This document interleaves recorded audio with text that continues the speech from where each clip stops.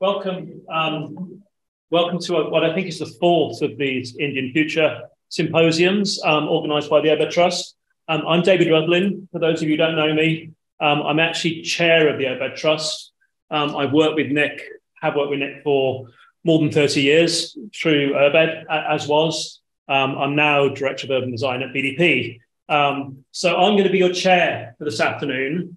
And you haven't got programs, so I'm just going to tell you what's what what exciting things you have coming up this afternoon. Um, so in a moment, I'm going to introduce Nick. Although I can't see where's Nick gone. He's not. He's left the premises. Nick has disappeared. Um, Nick will hopefully reappear um, when, when, when, when I stop talking. But Nick is going to start by giving a little bit of background to um, the URBED Trust work in India. Um, there you are. Thought you disappeared. Um, and, and, talk, and give you a little bit of background. We're then going to um, uh, move on to Maxine Relton, um, who's an artist, um, who's going to then talk about uh, her um, her experience of India, her um, her uh, sketching tours of India, and is going to through that process introduce Charles, who's director of SCAD. And we're very pleased to have Charles here in the UK. it's really the reasons we built this event around Charles's visit to the UK. And Charles is going to talk about the work of SCAD and talk about the work of, of SCAD in, in relation to um, the Sustainable Development Centre and the work that he's been doing NEC over a number of years. Um, then we've got Sowmya is going to follow up from Arup. We're then going to have a brief break. It's great to see. We, we weren't sure we had tea and coffee, but we do, which is good. So we've got a brief break um, to have another fill up of, of tea and coffee. And then it's over there. It's over here. There, there. It's over here. Yes. Okay. I, I'm looking at it over there, so I'm assuming that's what. That's the tea, that's the toilet. Oh, the, okay. The t- toilet is this way, yes.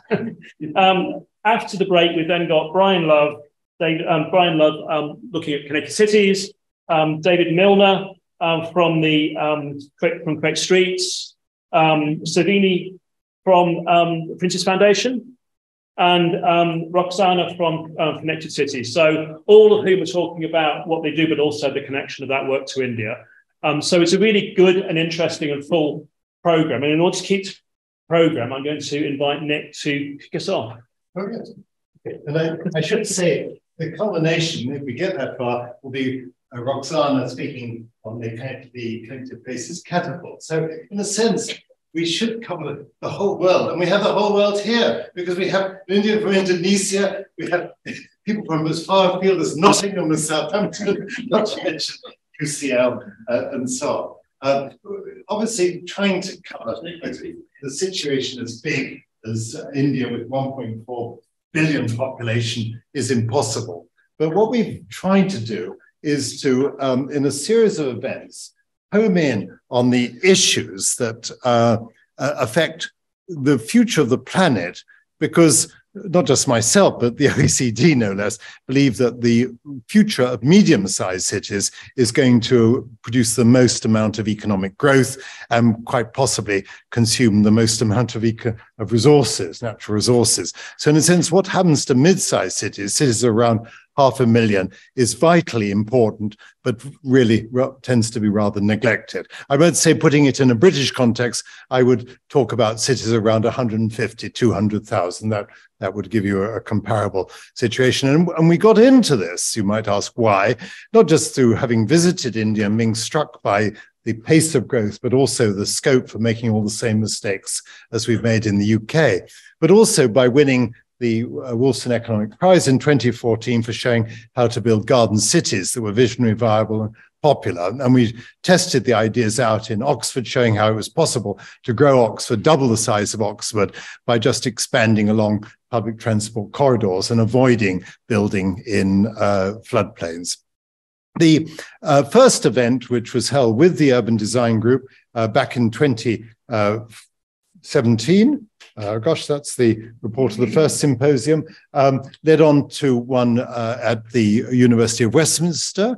And then we held two events in India. We one in Tirunelveli in Tamil Nadu, where Charles comes from, but also in, in Chennai, the capital uh, city. And so we um, were able to share these ideas and to draw on the views of, of particularly young Indians about what the future challenges were and, and various options. Um, and then we held uh, the last one, which was in 2021 in Bristol, where we tried to bring in the world. We had certainly the World Bank represented, uh, and we uh, had, I think, 14, a vast number of speakers um, using the magic of, of, Zoom, but without the benefits of face to face uh, conversation. Um, this time, I'm really pleased that we've managed to draw in the Connected Places Catapult. And I would say that many of the ideas we talked about back in 2017 are actually being applied in terms of twinning, in terms of uh, looking at sustainable development and how it can be applied to the growth of, of cities. But we know that it's very easy to have great objectives, targets, zero carbon, and so on, and then to build in an absolute opposite way. Uh, and in my view, what matters is not so much what countries dedicate themselves to do, or, but what happens in, in towns and cities, which means in, involving communities because communities do have views and will stop things happening if they don't like them. And so uh, it seemed to me the critical issue was how you begin to work with people. So I was really excited when I went to uh, southern India on a sketching holiday, thanks to Maxine Relton, and I suddenly saw the, the future working uh, in the way that SCAD was working with the Veni villages. So I'm now going to draw on Maxine Relton to uh, say something about her impressions before introducing Charles. So, Maxine, would you like to come up here?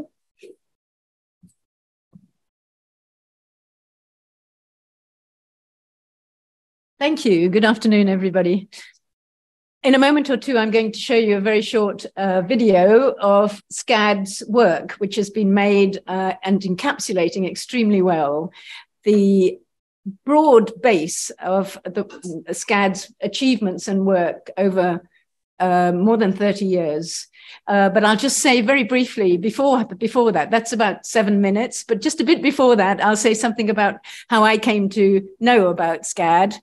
I was lucky enough to be invited as a visual artist to SCAD. My first visit to India, so in Tamil Nadu, uh, this was way back in 2008. And it was to document a couple of ecology projects associated with SCAD. And I don't know whether you've ever had one of those life affirming and life changing experiences in your life, but it, that was one of those moments for me that everything changed from then on. I was hugely impressed with the work that SCAD was doing in the communities and with local people. And I couldn't wait to go back there after just spending the, that first two or three weeks there. And so I asked SCAD if I could bring a group of people, charge them a little bit extra, and that money we would give to SCAD for their work.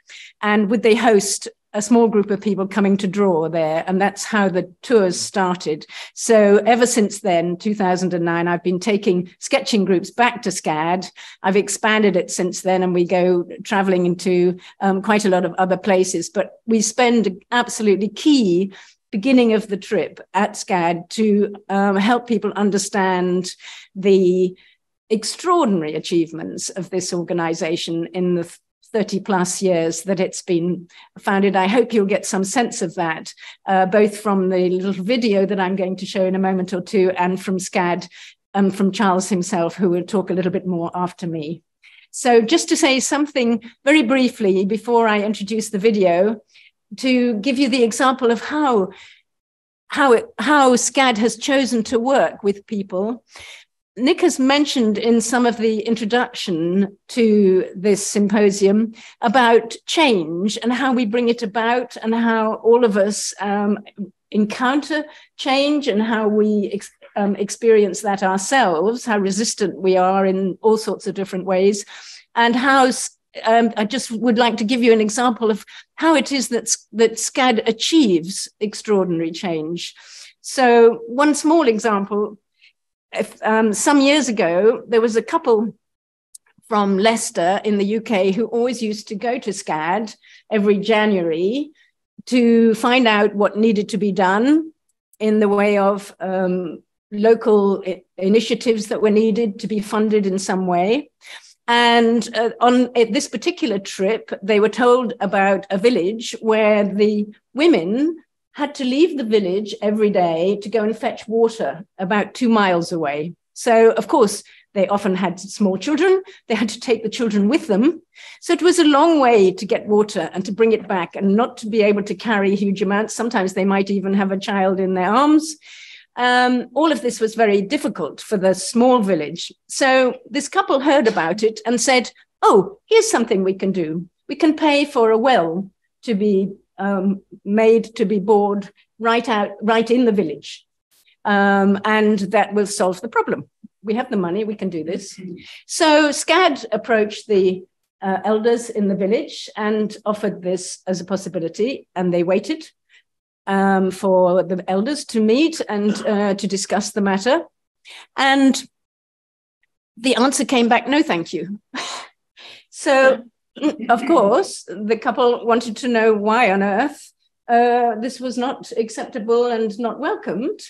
So SCAD went back to the village and asked, uh, and the elders met again and uh, discussed it and whether to, to, to inform SCAD about the situation. So the answer came back that the men in the village, who were the elders in the village, um, said that um, they really appreciated the quiet time when the women and the children went out of the village all morning to go and get the water.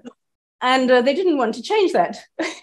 so the next question was well, it, can we still solve the problem for the women and the children, but also uh, not to disturb the whole arrangement as it stands. So what they did is they offered to build a well, to bore a hole and make a well just outside the perimeter of the village, so that the women and children still left the village. Um, and there they uh, paid for and helped to fund um, a health center and a school. So the solution there, as you can see, was one that in the end having consulted and respected the local villagers and their views and so on, regardless of whether it was men or women or whatever, just the situation as an example of consulting people, finding out exactly what the issues are. And instead of just imposing something that seemed to be a clear solution, um, it was in fact a, a, result of close cooperation and consultation that a solution was, was found that was even better in the end for everybody concerned. And that was, for me, such a wonderful example of the many, many, many things that I've learned from SCAD about the way they work with local people. Um, so I have endless stories like that that I want to tell you, but we're limited to 10 minutes each with so many speakers, so I can't tell you anymore. So perhaps um, um, we can have the, uh, perhaps Robert, can you um, tell me what I need to do here to start this off? Um, thank you.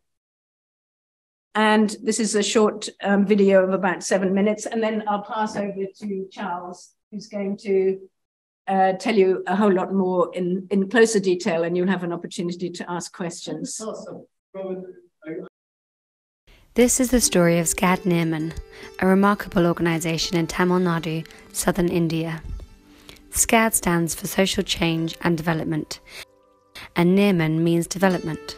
The team started working in just five villages and today works with 600, helping more than 600,000 rural poor people. Taking a holistic approach, SCAD Nirman works in education, health and sanitation, women's development, care for the disabled and other special communities, plus agricultural and environmental activities.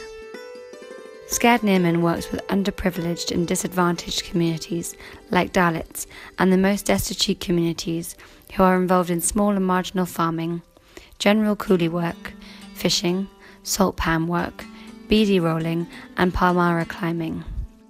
SCAD Nirman also works to support special groups like the gypsies, snake catchers, the leprosy affected, and children and adults with disabilities. In 1985, Dr. Cletus Babu stepped out of his comfort zone of being a Catholic priest.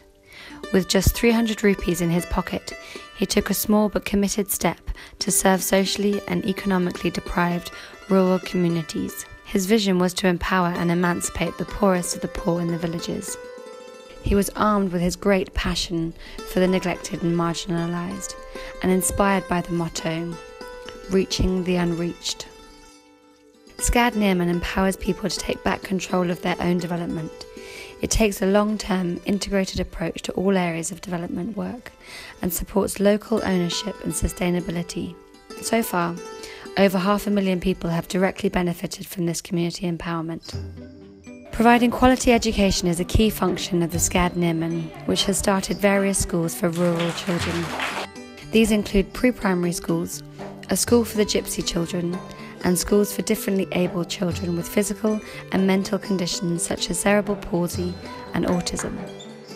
Graduate degree courses are offered in purpose built polytechnic colleges, engineering colleges, colleges of education, teacher training institutes, industrial training institutes throughout Tamil Nadu.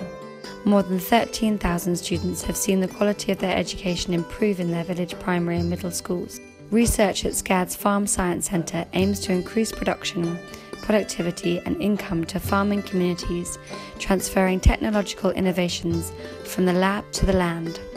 Environmentally friendly activities such as sustainable agriculture, horticulture, veterinary science, home science, fisheries, and watershed programs are being carried out. Wind energy is harnessed from SCAD Nirman's wind turbine. There is also a thriving soil fertility project, a bioenergy plant, and biodigester. Microbial technology through a microbes brewing unit is another initiative promoted by SCAD Nirman. Women's development is very important. Today, there are more than 3,500 women's self help groups in the villages adopted by SCAD Nirman, where Surabi, microfinance programs support the members. More than 100 women from SCAD Nirman groups have been elected as village presidents, ward members, and councillors in local body elections after regular paralegal advice and trainings. In the field of health and hygiene, SCAD Nirman's Medical Centre seeks to address the medical needs of rural poor, who cannot access quality medical care and treatment at an affordable cost. A nutrition program has been established to reduce malnutrition among rural children up to three years old and ensure nutritional supplements for pregnant and breastfeeding mothers. SCAD also offers general medical camps, cataract surgeries, health education and training, immunisation, safe births, and facilitates kitchen gardens, school gardens, and herbal gardens. In line with a modern and effective holistic approach, SCAD Nirman's community based rehabilitation vans provide exemplary healthcare services for disability care. They bring technical inputs and counselling, various forms of appropriate therapies and medication to disabled people in remote villages who are often very poor. This gives disabled people access to regular services and appropriate assistance so they can fully participate in life at home at work, and in their communities. SCAD Nirman's one stop solution to the medical and therapeutic needs of rural children with special needs is the Rehabilitation Centre at Tirunelveli. Fully equipped with physiotherapy, occupational therapy, and hydrotherapy. An orthic and prosthetic unit and training centre makes and fits lightweight and efficient aids and appliances that are needed by disabled people. The list of ways that SCAD Nirman supports communities is long and varied. Here are some examples. SCAD Nirman founded a school exclusively for the children of the Gypsy community and has built a total of 86 houses for Gypsy families. For those needing leprosy special care, SCAD provides medical services as well as a monthly stipend for a decent and dignified life. SCAD has built a health centre and a community hall for their well-being. For elderly people with without families, SCAD Nirman provides care and attention, medical treatment, clothes, bed sheets, counselling, and monthly stipends. Salt palm workers not only live in penury but also develop eyesight and skin problems, and SCAD Nirman provides medical assistance to them. It also works to unite organised salt pan workers to ensure comprehensive protection. SCAD Nirman runs a pre primary school for the children of salt pan workers. Fishermen and fisher coolies are supported by SCAD too, which provides education to the children of impoverished fishermen and raises their standard of living. Over the last 10 years, the inspirational and wide ranging work of SCAD has been recognised with many awards, both within India and by the international community. There have been notable accolades from politicians, business groups, state assemblies, and His Holiness the Dalai Lama, among others. The vision of Dr. Cletus Babu, his wife Amelie, and his team at SCAD has touched upon all segments of society. Mr. Cletus Babu says, We get the most pleasure when we can leave a village to stand on its own feet. More than a hundred villages have already made it to this stage. The main message in the work that I do is to love people and to go and share in their lives, to understand what they are going through. Caring for and mindful of all sectors of his society, right from the womb to the tomb, and the various awards and recognition are well deserved. May SCAD Nirman march ahead with added strength and faith to reach its goal for the greater glory of God.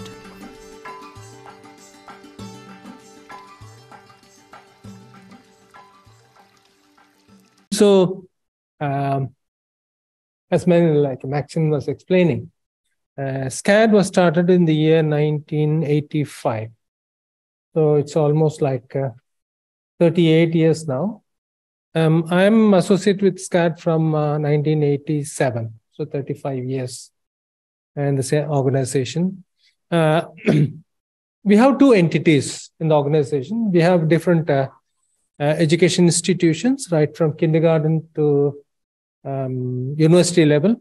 Um, we have different higher education centers like engineering, polytechnic, uh, college of education, teachers training, uh, special schools, higher secondary schools. So that's one part. We have 70 different uh, education institutions in SCAD. And uh, we have the other entity is like uh, uh, working in the community. So we started working with five villages, and we have now we are working in 600 villages in three provinces. Um, we are directly associated with uh, uh, somewhere around half a million people, and uh, there are 3,500 women self-help groups and 40,000 members in that organization. And we are doing uh,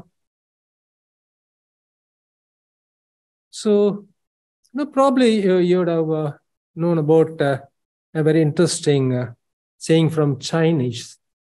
Um, go to the people, love of them, live among them, start with what they know, uh, build on what they have.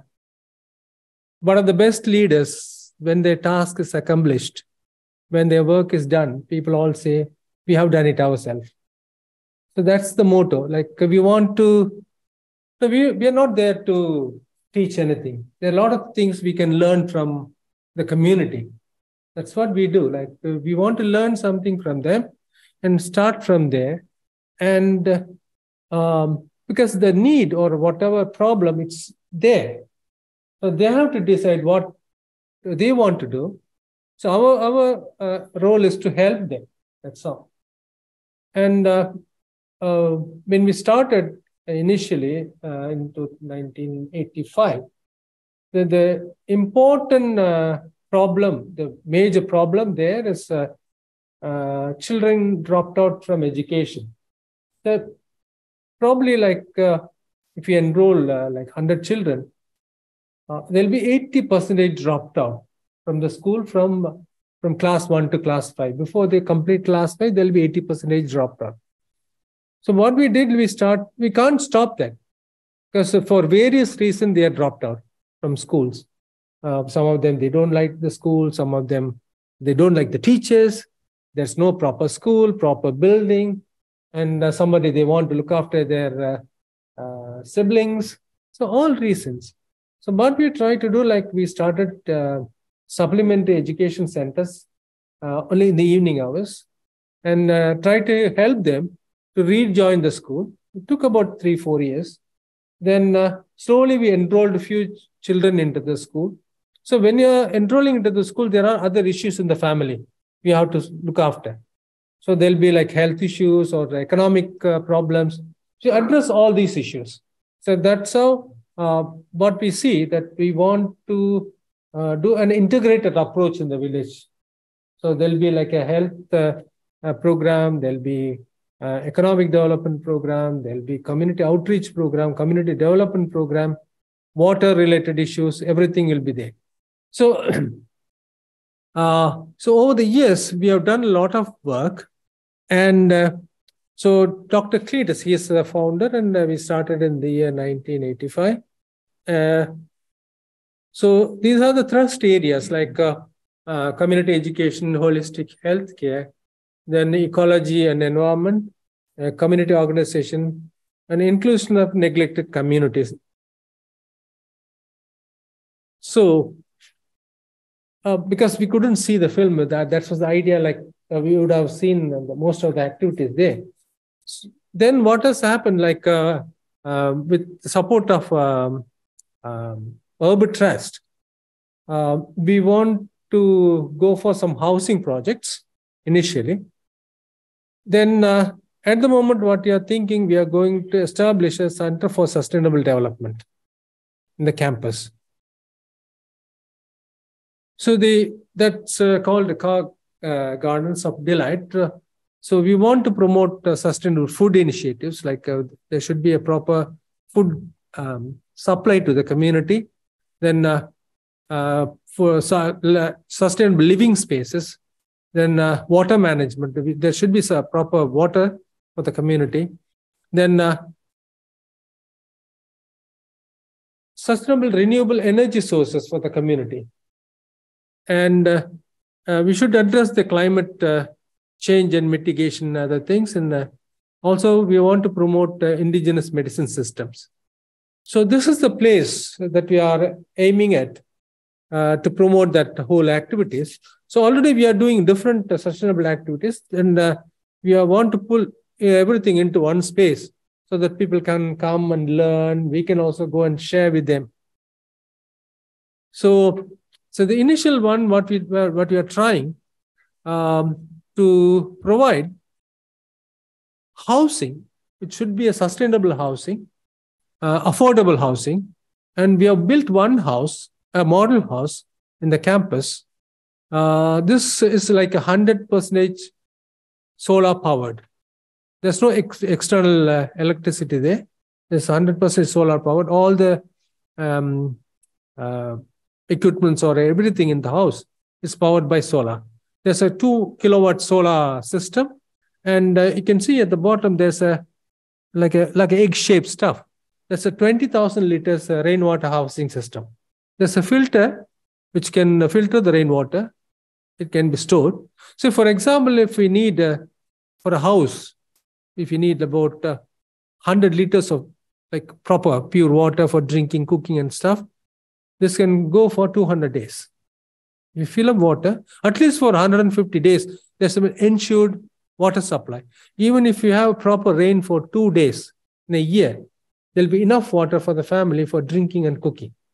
And, and there's a proper filter system there. And, and uh, you know, the probably you would have heard about uh, Laurie Baker uh, the one of the famous uh, architecture from UK, uh, went to India, and he started working there, stayed there for all his life, and he has built beautiful houses and buildings and hotels and uh, offices, everything in India. And uh, we took some model from him. And this particular model is called a rain trap, rat trap model. There's a passive cooling in the house. And and the, the floor, we are made with handmade tiles. Then uh, the roof uh, with the embedded tiles. And uh, so we, are, we, we, we try to include all possible sustainable models. This is not the ideal model. You don't say this is the best one. But we are trying to do that. And uh, there's a recycle, uh, waste recycling system, uh, gray water uh, recycle, everything in that house. Sorry. Then the second important thing what we are trying to do is to promote uh, uh, food security. And uh, every year we plant around 2,000 uh, uh, kitchen garden, herbal garden, and tree planting. So the idea is like, um, so during monsoon season, we provide a small kit with vegetable seeds and herbal seeds and herbal plants and they can grow them during the monsoon season, just for the monsoon season, from October, November, December, January, February, March. At least during this five months, they can get vegetables. We're not going for summer. If there's no enough water, we can't expect people to grow. So what we are trying to do, wherever possible, we grow our own vegetables. Sorry. And uh, we're also promoting biochar. Though it's a growing uh, interest about biochar, it's nothing but proper, a good quality carbon, uh, which is uh, uh, from the trees or waste materials, waste wood or something. We can extract carbon, which can uh, give you, we can uh, seek, carbon sequestrate, like put them into the soil. And also, this is a good way of as a soil amendment. So we have a carbon biochar unit.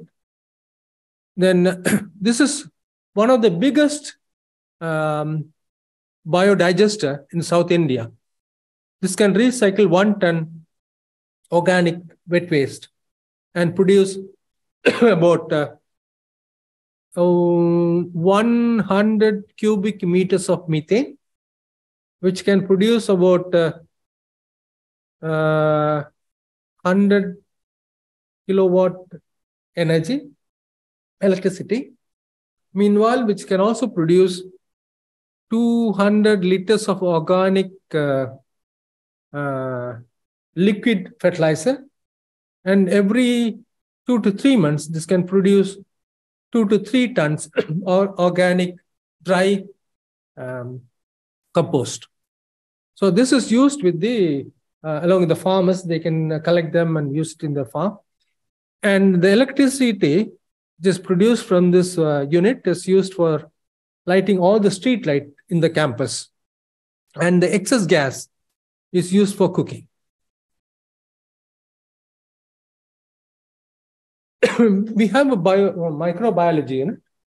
We are producing a, um, bio uh, beneficial microbes, uh, effective microbes or beneficial microbes. Uh, probably some of us uh, we know that about uh, the beneficial microbes will help the, the whole environment.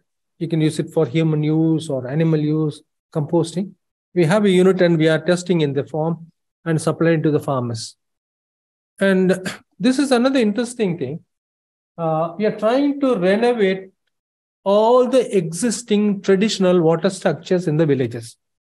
So if you uh, if you have been to Tamil Nadu, the southern like states of India, Tamil Nadu, Karnataka, and Andhra Pradesh, especially not Kerala, and all these three states, they are like Rajasthan. Part of them is a dry state, dry region, and in olden days, they had traditional water structures to collect rainwater during a monsoon season, store them.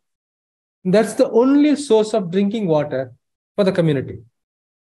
But what has happened after independence, most of the water structures are neglected because people started building huge dams and uh, uh, water system supply, water pipeline supply, everything. And they lost these things. So now we realize it's important and we are restoring all the traditional water structures. There are two things one for irrigation, second one for drinking water. So far, we have renovated more than 200 uh, water structures like this. And we create a small uh, water committee, and they are responsible for the continuous uh, maintenance of the tanks. And uh, uh, we have uh, solar um, systems like 150 kilowatt solar and 250 kilowatt uh, wind power. So the idea is the because it's a big campus and we have different institutions, we should we want to produce our own energy. So the most of the energy which produced is given to the national grid, and from there we take. So whatever excess we should pay. If there is an excess production, the government will pay us, or we will pay a small amount of money for the uh, government system. So every year, as Maxine was mentioning, we, we produce about uh, uh, 100 between 100 and 150,000 seedlings and supply to the farmers, women groups, schools, community lands. So far, we have planted more than uh, around 3 million trees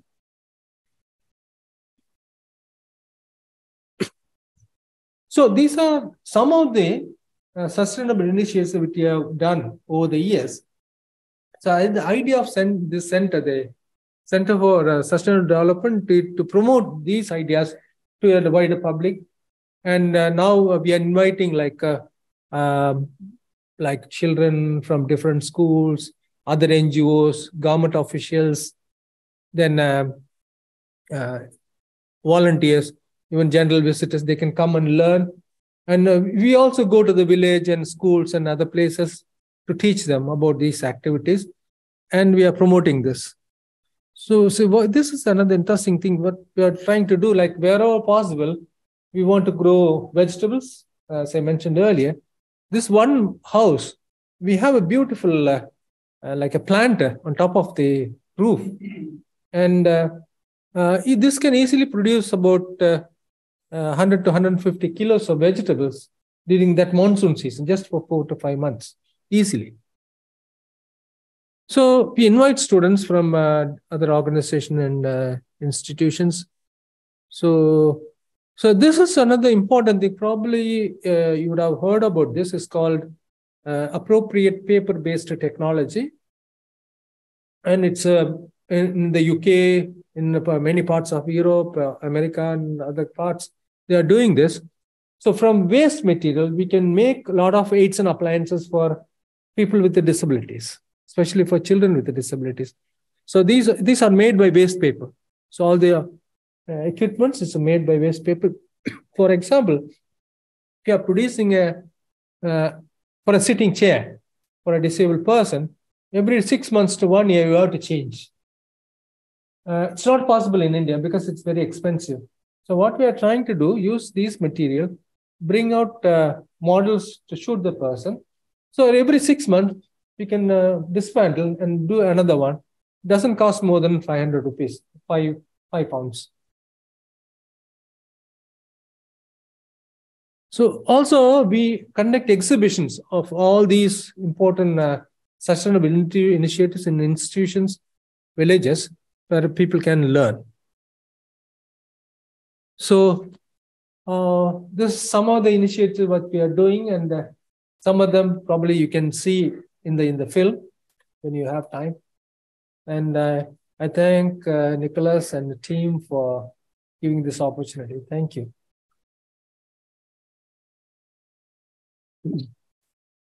So this one about the house, we got the uh, Green Platinum Award from the Green Building Council of India. We've got a chance for some questions for Charles. Um, so please um, take this opportunity. Immediate pressing questions? Yes. Oh, I, I know if I do this, you, we've got microphones that will pick up your voice as well. There we go. we should be able to. There's, there's microphones hanging out. Yeah wanted to ask um, in relation to the gentleman spoke about the vegetation growing you know, building up in with food, these things. And a lot of research I've been doing was looking at the other side, which is the impact of um, mining in urban environments. Mi- mining? Mining. mining. So my question is, is that we want renewable technology, right? We want solar panels, wind turbines, cars.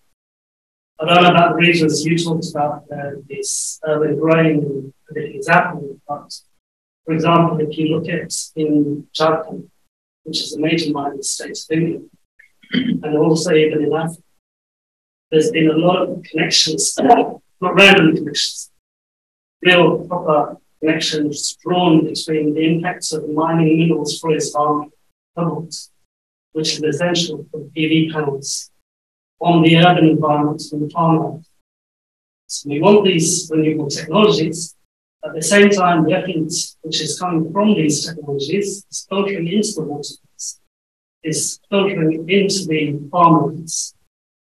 And I just wanted to get your thoughts because um, you can't do any of that stuff in the UK. You can't do any of the mining in Europe. You have to rely on, on rely on Africa.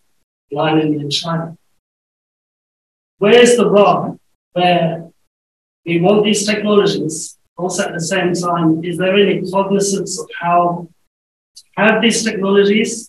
We have to have to see a complete reversal of the urban environment going towards stabilization instead of reorganization. I don't have an answer. Nobody got an answer. I don't think so. So the issue is like when there's a new green technology coming up, people started going there ultimately. So, like uh, about uh, 10, 15 years back, people uh, started hybrid cars. Now we are going for electric cars. Everybody know that in another 10 years' time, there'll be a huge pile of batteries going to be some lying somewhere else. That's true. I don't know. But what we are trying to do, at least with the community, wherever possible, see, India is a fast growing country. And uh, we are sure that it's going to be a huge impact of any development happening around the world in India because now India is the main target for many of the companies. And so, so because so far, so most of the market in Europe is finished. Most of the market is China is finished. So the two possibilities, one India, there's a huge population, 1.4 billion people, and there's a huge market. And second one is Africa. Uh, we don't know what will be the impact in another 10 years. The, the questions you are asking. But I just say, it's not about what's going to be an impact in 2030. Because I've met some financiers in the last few years. They're saying, the, the guy asked me, he says, I understand they want to electrify the whole of India. So I guess they do. He says, do you know how much greenery you need to remove across the whole India? He says, you need to remove, you remove, need to remove every single blade of grass in the forest to get the cobalt and the titanium and all these resources out of the ground. So this is something happening now, whether you've got Mountain Forest, Western Ghats, or any other yeah, yeah. So my question is, is uh, when I see this reorganization breaking streets, that's not a plus because we're actually only replenishing what we've lost by doing this mass mining. And that's just the demand for million. Then we look at what's happening, what we want in the UK, what we want in Germany. And I'm just like, where's it, where does it stop? I'm, I'm not. I'm not sure this. Is, I'm not sure that it's a good question, but I'm not sure it's one that Charles can necessarily answer from a perspective of, of scale. Unless you want to come back on that, I, th- I think let, us pause it for a moment. We've got time for one more question before we go on to our next speaker. Yeah, over here. Charles, it's really impressive seeing the things that visually jump at you, the energy, all the things you're deploying. Um, and I think they're all things that we understand. I think the things we don't understand in the question for you is the magic and the strategies that are invisible that go behind this, how to mobilize the communities, how to mobilize the economics, your business model that could be redeployed. Um, and I'm sure that's a much, much bigger conversation, but equally interesting in this way. Your strategies and your business model. If you had to like write a kind of way in which this could be reproducible, the um, techniques, all the visible things are extraordinary to the energy and whatever else. But, yeah. What would be your advice for somebody else reproducing your your vision somewhere else? Yeah. How to go about it? See, uh, I would say so far are, this particular model is taken in many parts of India. Okay. And uh, uh, I would say like uh, at least uh, 20, 30 organization from Africa, they are visiting us. We don't say that this is the best model, but we are trying something for the community, which is taken by other uh, countries. And we are also going to other countries like uh, uh, I'm going, I'm visiting uh, most of the African countries like Uganda, Kenya, Rwanda, Tanzania. And we are, we are trying to help them, some of the initiatives in other countries. It's it's always the yeah, difficult thing that you, you, hear Charles talk about. We have women's groups, and oh, we have three thousand five hundred. You think my goodness, you know, some, something incredible is happening here. Nick, Nick let, let- we need to move on. So There's make- a philosophy that URBED has tried to apply of looking and learning. Uh, Instead of just relying on books and lectures and so on, there is something to be said for actually going to see how things work, being impressed by transformation, and then being inspired to replicate it elsewhere. Just like Charles uh, has gone to McConflist cat and then said, well, if they've done this at a slate quarry, why can't we do something similar uh, next to our biodigester? So I, I do feel that part of the secret in going forward is being able to identify replicable models, write them up, have pictures of them, and visit them. As we, well, Maxine has been taking groups. It, it, it seems so obvious, and yet we don't do it. We look for some wonderful algorithm rather, rather than realizing that people on the whole learn from experience and what they see. Obviously, they can see force models. They can go to Manhattan and say, as China did, oh, why can't we re- replicate Manhattan in the Chinese cities? And, and that's the danger. And I'd like to think there is also a case for looking at, at grassroots projects like uh, SCAD. I'm, I'm, I'm, I'm, my, my responsibility to chair is to keep us on time, and I'm already failing on that. So, could I just keep? Can I, can I keep the question for a moment, or go on quickly out the question? And then, yeah, You know, I found it very interesting and impressive. But uh, my question is about what is the kind of um, chasm between um, sort of really poverty of the, the hand-built huts and stuff. I mean, really absolutely basic. And then your brick-built uh, ecological housing Western style. So, uh, you know, how does that match up? Where do they get the bricks from? Where do they get the, the, the windmills from, from produced in, in, in Scotland or, or? Uh, the, the, the solar panels, very expensive, very, very uh, resource consuming to, to make, and, and they're not ecological. as you know, even if you take the sun for, for the source. So, Ch- Charles, the- the question is the gap between the, the, the, the house that's been created and the needs of the mm-hmm. poorest people. particularly this house, all the materials sourced locally. So you have clay there, I mean, you make the bricks? Yeah, yeah, it's local, local bricks, except the solar panel. It's all locally sourced, At the solar panels, no. except the solar panel. Solar panel, no, of course, from the company. See, in India, sixty percentage of the electricity is produced by atomic power.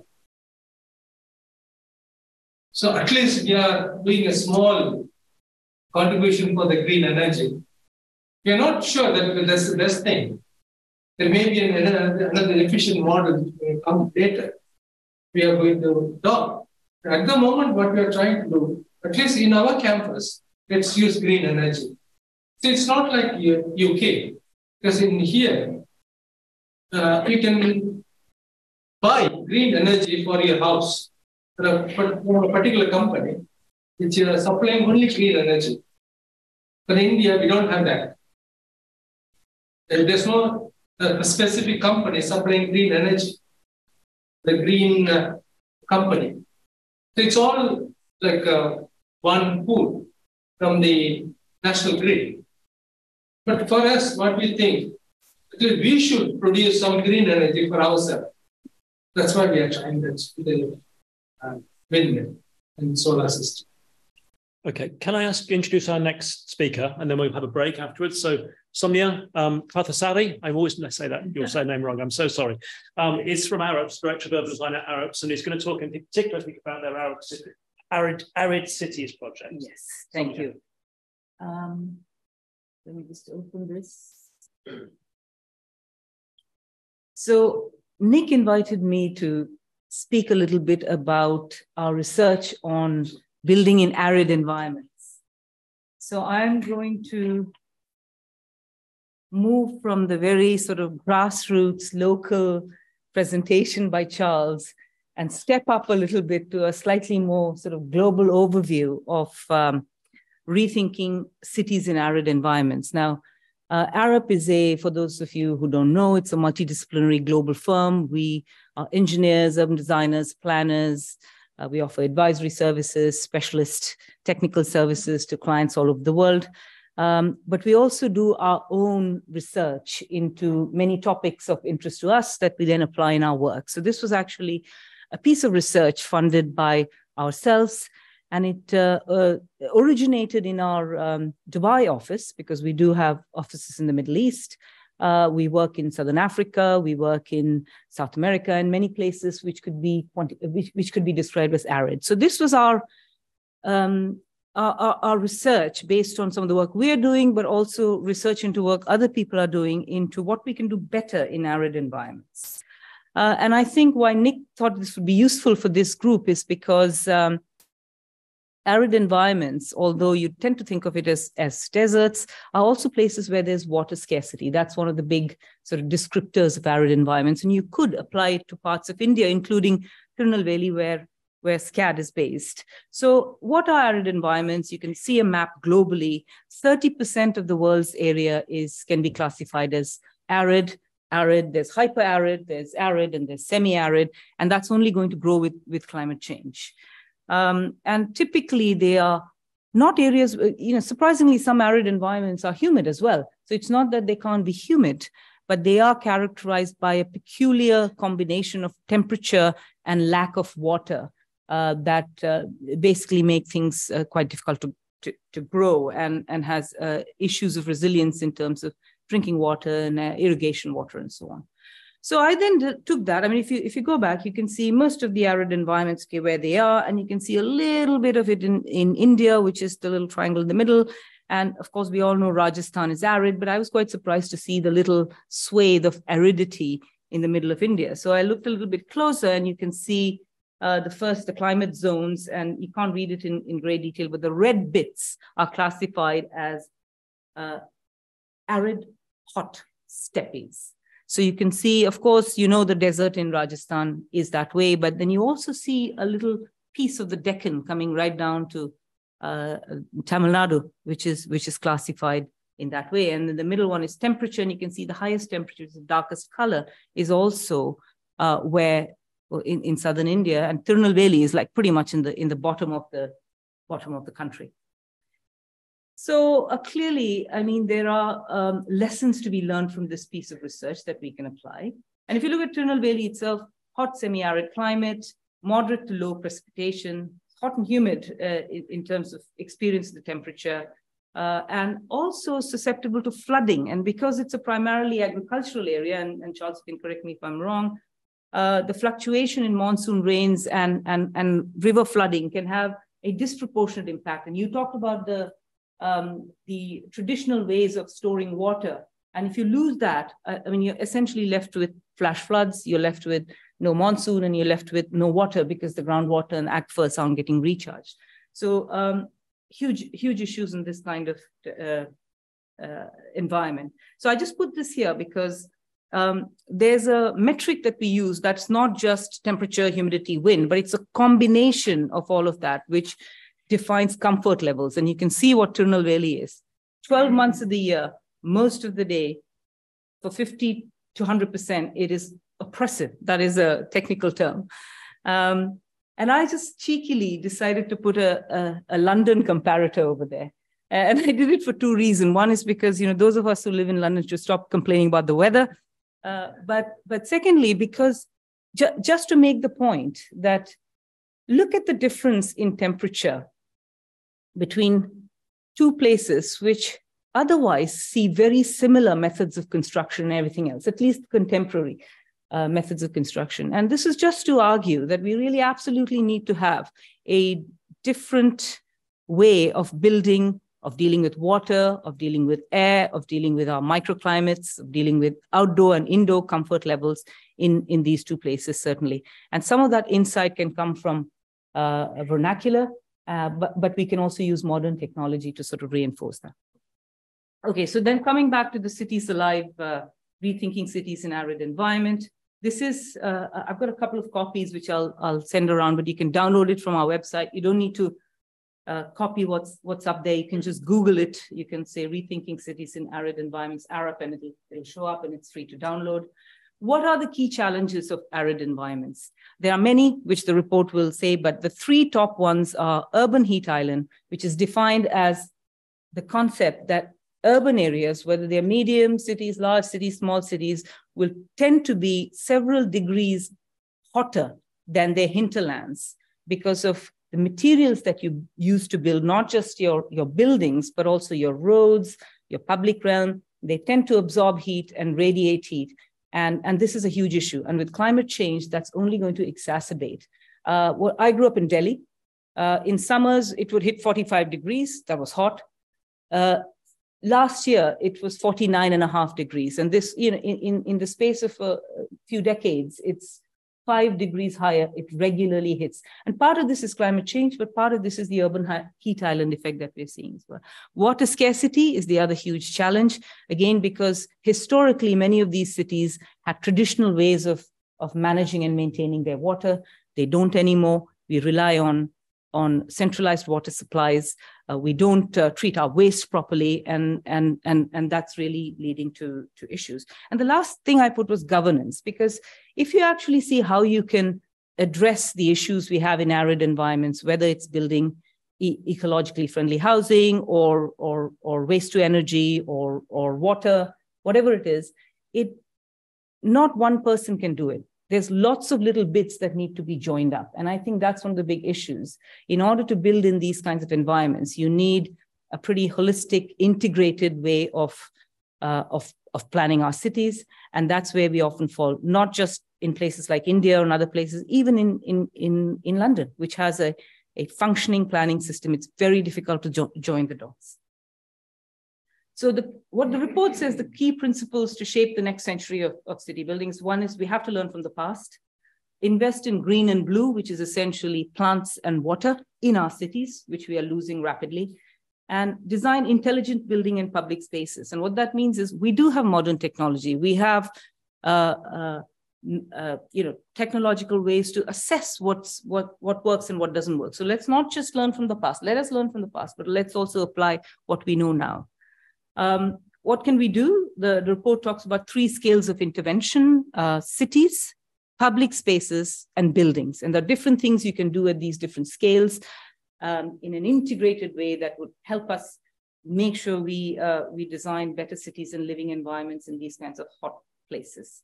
Um, I won't go through it in detail, but there's a whole bunch of things you can do at city scale, uh, preventing urban sprawl, which, which Nick started the, the talk with, uh, appropriate densities, decentralized infrastructure, SUDs, we all know, water, water recycling, better policy and codes. These are the things which individual projects or landowners can't do by themselves, have to be done at city level. What you see on the right is, uh, uh, is Antofagasta in Chile, which is uh, one of the so driest cities in the world. It's about 400,000 people in, in Chile. It's a mining town. And uh, they had two problems which they identified. One is they had absolutely no green space, very, very, very poorly saved, served by green space, and they had no water. And so they, at a city level, initiated a water recycling program where they treated all their wastewater with two goals. One is they would try to recharge their groundwater, try to save every drop of water, but then use it to irrigate their public spaces. And they intended to grow their public space provision threefold from something like uh, 60 hectares to three times that in, in a period of 10 years. And so uh, these are things which only cities can do. And, and so there's a, there's a whole bunch of things that you can do at city level. Um, I'll, I'll won't go through this in, in, in great detail now. And then public spaces. And again, how do you design for walking in areas that are really hot? Uh, how do you future proof mobility? I mean, you know, a lot of these cities, they, um, they are, are, are using more cars, but you know, how do you, how do you change that uh, over time uh, into either electric mobility or micromobility or walking and cycling and so on, or, or public transport? How do you uh, use xeriscape, which is another word for native landscapes that don't need much water? How do you deal with irrigation, microclimate design? So the picture that, that you see there is Wadi Hanifa in, in Riyadh, which is a really nice example because in the Middle East, you have a lot of these wadis that are carved right through the landscapes, and they're carved because that's where the flash flooding occurs. So they are wet for like a few days of the year when, when it's flooded, and the rest of the time it's pretty dry. And Wadi Hanifa was one of those places. But what they've done uh, over time for 100 kilometers is, is really start building some check dams, keep some water, use some minimal pumping, for example, to have a bit of water in that in that wadi year round, which has made it a really nice destination, which has helped preserve some of the water rather than lose everything in a flash flood uh, and, and thereby recharge some aquifers. So there are some small local techniques you can use to have some, some massive impact. And this one is, uh, is what technology can do. So on the right side, you have these three squares, which are basically uh, some assessments that we did on a project that we did in, in, in Oman, a thermal analysis, a wind speed analysis, uh, and an existing condition analysis to try and say, okay, what is, what is the data telling us? Where is it hot? And what it led to is it allowed us to orient the building in the right possible way to manage to capture all the prevailing wind. Uh, we also learned that east-west streets are the most exposed to sun, and so they need to be really narrow, and the building form needs to shade those streets. And the north south streets, which are not quite so sun exposed, can be wider, they can have trees. And that's where you put your pedestrian and, and cycle walks. And, you know, so you, you can help. I mean, the, the, I'm sure this uh, knowledge existed uh, traditionally, but, you know, for, for us working slightly more globally, I think technology can help us arrive at the same solutions. And the other diagram that you see is, is, quite an interesting one. It's if you build a bigger building that you're cooling, typically what you do is you put your cool air exhaust on the roof. What if you put it at the pedestrian level? So you're actually beginning to create some microclimates and helping and, and using your, your energy to, to best advantage. Um, and then finally, of course, buildings, I won't go through it in much detail. Obviously, SCAD's experimented with uh, one eco home. There are many, many uh, materials and techniques you can use which are bespoke to different areas that, that work best. Uh, I, I love that little example there. That was in Noida, Delhi. There's a factory that was spewing out uh, hot air from that the, the, the grate that you can see at the back. And and uh, and the courtyard in front of it was absolutely uninhabitable.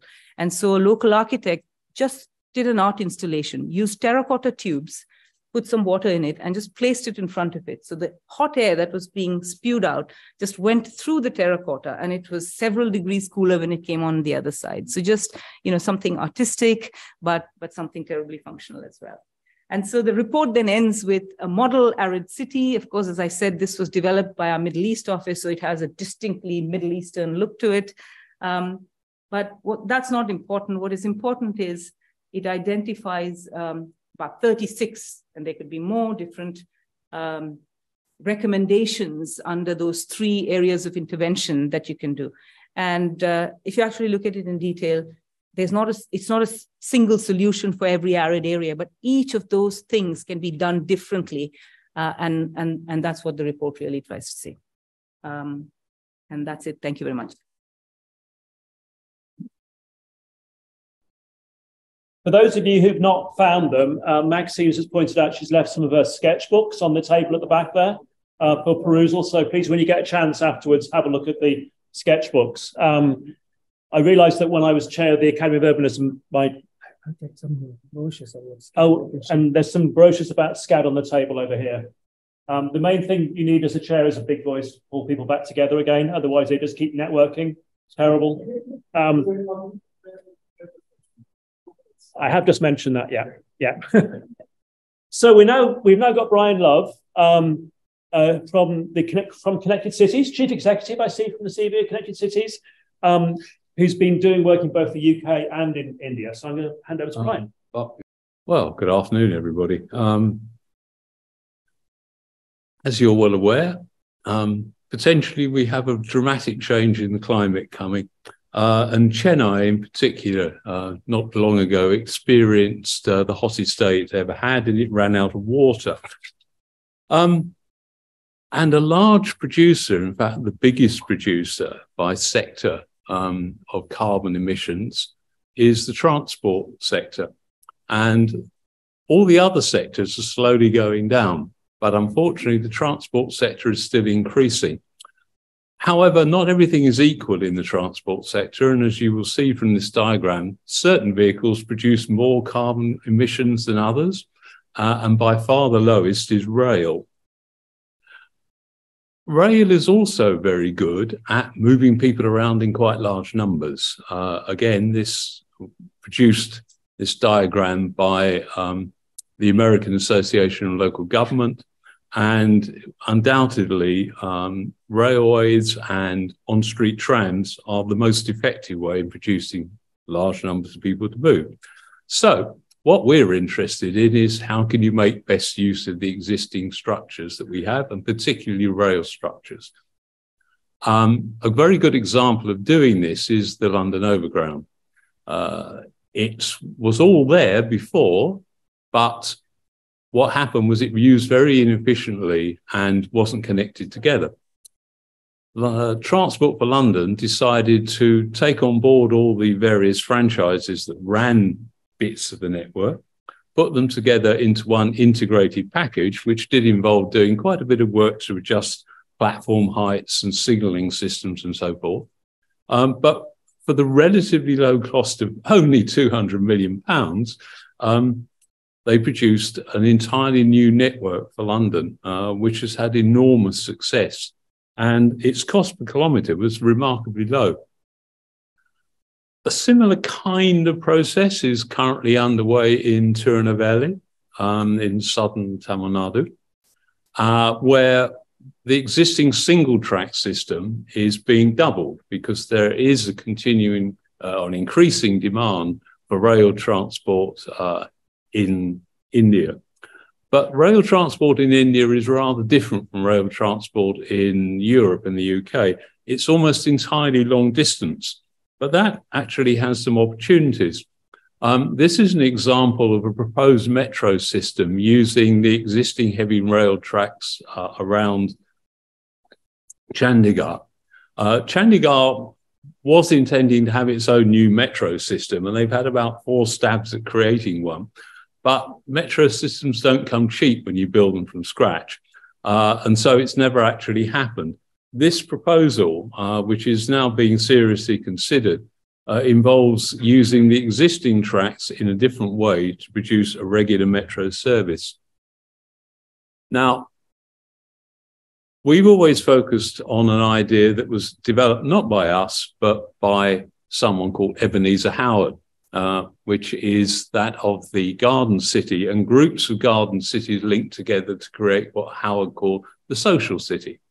Um, that was a great idea of Howard's. The only problem was there aren't any kind of big gaps in the countryside at present where you could build a group of new cities. Um, so what we've done is we've taken his underlying principles and applied them to the existing rail networks uh, and the existing townships. And what emerged from this was my colleague um, decided that connected city would be a good way of achieving the same thing as a social city, but using the existing infrastructure. And so a connected city has a hub town, which is the largest of the group of towns that federate together. And they're all within 15 minutes travel time of one another. And all of their growth will be focused around their railway stations, whether they're existing railway stations or whether they're new ones. Um, but the maximum travel time from a hub to even the most far flung part of the connected city would be 15 minutes. Within each of these nodes around the railway stations, there would be a 15 minute neighborhood. So, in other words, development will be encouraged within walking distance of uh, the railways, and the railway service would be upgraded to what is currently being called metroization, a metro scale service. Um, now, Howard originally worked out a very similar scheme for his garden cities, and they accommodate a population of around about 30,000 people, but at garden city densities. So, in other words, you have a population of 30,000, but the density of that, it gives you about 100 persons per hectare. And that's what figure that the UN uses to define the minimum density that can actually deliver good, sustainable public transport. It gives you around about 10,000 dwellings, um, but within that area, 50% of your land is open space. If you experiment with this system on Tirunelveli, uh, you find that what you have is a series of existing stations. Um, and these are the ones that fall within 15 minutes travel time of Tirunelveli with the existing services. Because the great thing about Tirunelveli, it's where four railway systems come together. It's called Tirunelveli Junction. Um, but the numbers of trains are relatively low. Uh, as you can see here, um, even on the maximum, there are only eight trains a day, which leaves you substantial gaps. The if all of Tirunelveli's development was focused in these one kilometer, 15 minute neighborhoods around the existing stations, um, it could accommodate another 160,000 people um, very straightforwardly, even at the kind of densities that are considered low by Indian standards, because Indian urban densities can be very much higher than what we're used to having in Europe. Um, this is an example of uh, an existing town, uh, town of Petai, which is on the western. Yes, you can see it's the second western existing station. Um, and this is applying our diagram of how um, green space, developed space, urban space, and in the center, mixed use space at a higher density um, would apply to a town that's currently there. The yellow lines represent protected walkways. They are routes which are segregated from vehicular traffic uh, and intended to encourage active travel movement. Um, in the West, they would tend to be protected by overhead canopies which had transparent um, photovoltaic glass to fund them. Um, however, of course, in India, where you have an abundance of sunshine and what you're really looking for is shade, uh, they could be solid um, PV. Now, we do accept the fact that there's a carbon footprint associated with creating PV, but it's much offset by the fact that you're producing electricity from sunlight. Um, the core of the town is mixed use. The greener areas outside tend to be, well, what happens in, as we all know, in southern India is you have a monsoon. Um, and as was shown by Charles, uh, it's possible to retain some of that water if you plan for it. And so what we were proposing would be it would be associate appropriate to have blue-green infrastructure that worked its way right into the core of the town. There's potential for new 15 minute neighborhoods around new stations. And depending on the kind of densities at which we chose to develop, you can accommodate up to 500,000 people. Now, at present, Tirunelveli city uh, is in, proposed to expand into the agricultural areas around it that currently feed it. The advantage of focusing on public transport is that you would reduce the take of um, agricultural land uh, and you would reduce the carbon footprint of all these new people because you're providing them with the kind of public transport that encourages people not to have cars or two wheelers or three wheelers, which are very common in India, um, in the first place. In order to actually deliver this, we've been looking at ways of engaging community and all the various stakeholders to work out an efficient system whereby they could develop cities. And the two particular tools that we're interested in are, have been developed by two companies, one Space Syntax and the other Geodesign Hub. Space Syntax have a long history of modeling land use and transport connectivity. Uh, in particular, they have a very, very efficient system for modeling walkability. This diagram on the screen at present, the, uh, the red areas indicate areas of high walkability. Um, the green areas moderate and the blue areas low walkability. And so you can see quite clearly that if you have an outlying suburb the, the chances are that it will not have high walkability ability. So Space Syntax do analysis. GeoDesign Hub, on the other hand, what they facilitate is negotiations between groups of people to discuss scenarios. They use their techniques to get groups of people who apparently have very conflicting requirements to come together and discuss and understand what each other's criteria are and what options there are for finding common ground. And the most, ex- I mean, they've been doing this all over the planet for quite a long time.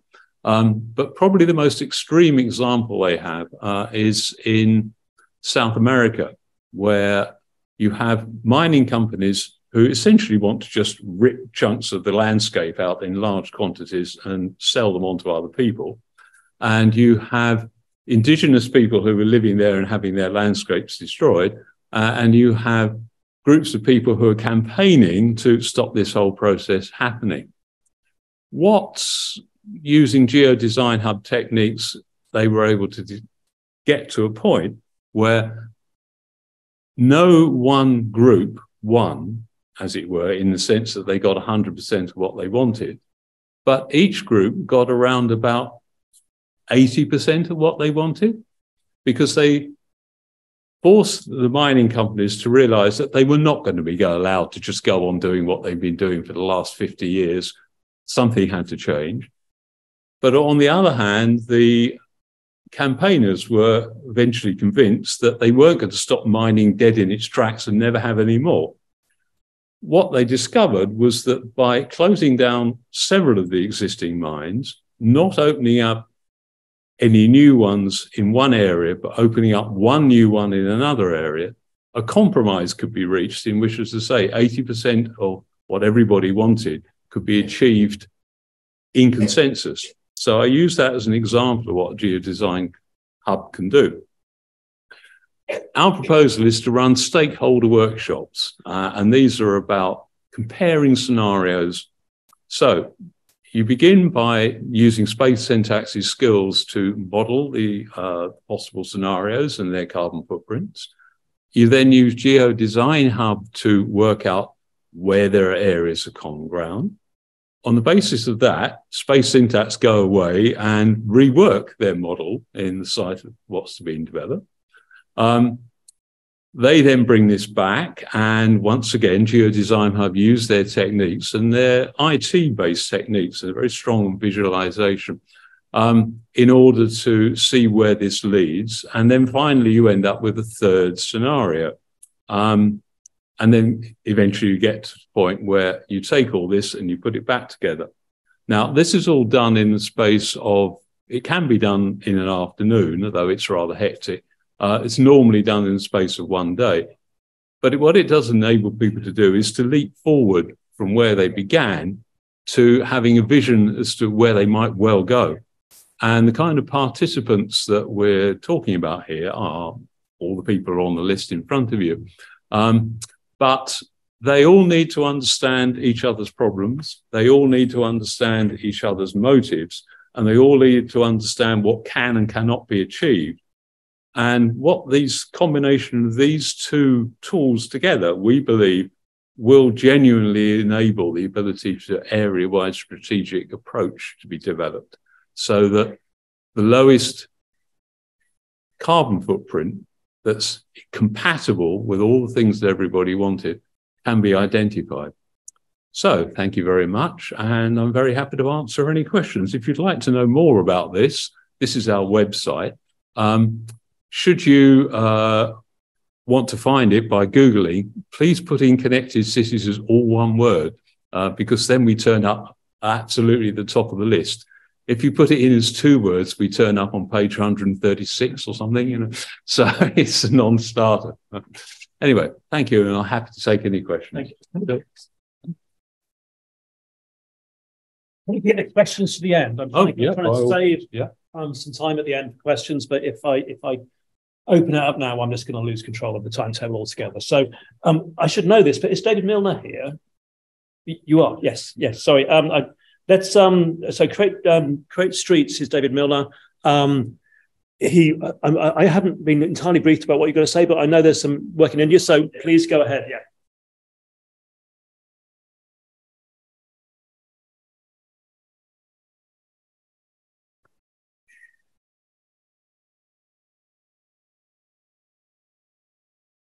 This works. Are we being recorded? So that's you can hear me. That's all good, is it? Yeah. Lovely. Yeah. Um, so, so in terms of briefing on what I'm going to talk about, I'm not going to talk about anything Indian. So, just as a sort of caveat, I don't have any expertise there and have not worked there. So, um, you can sort of ignore this if you want to, but I think hopefully we can try and learn some lessons from our research. Um, and what I think I'm, what Nick's asked me to talk about, um, I would have happily gone into a lot on transport and connectivity, but I think we've got a lot of good speakers, and Brian's obviously just touched on that. So I'm going to focus on um, what we talk about a lot, which is how how to deliver the density in a popular way, um, which is why we're looking at creating streets.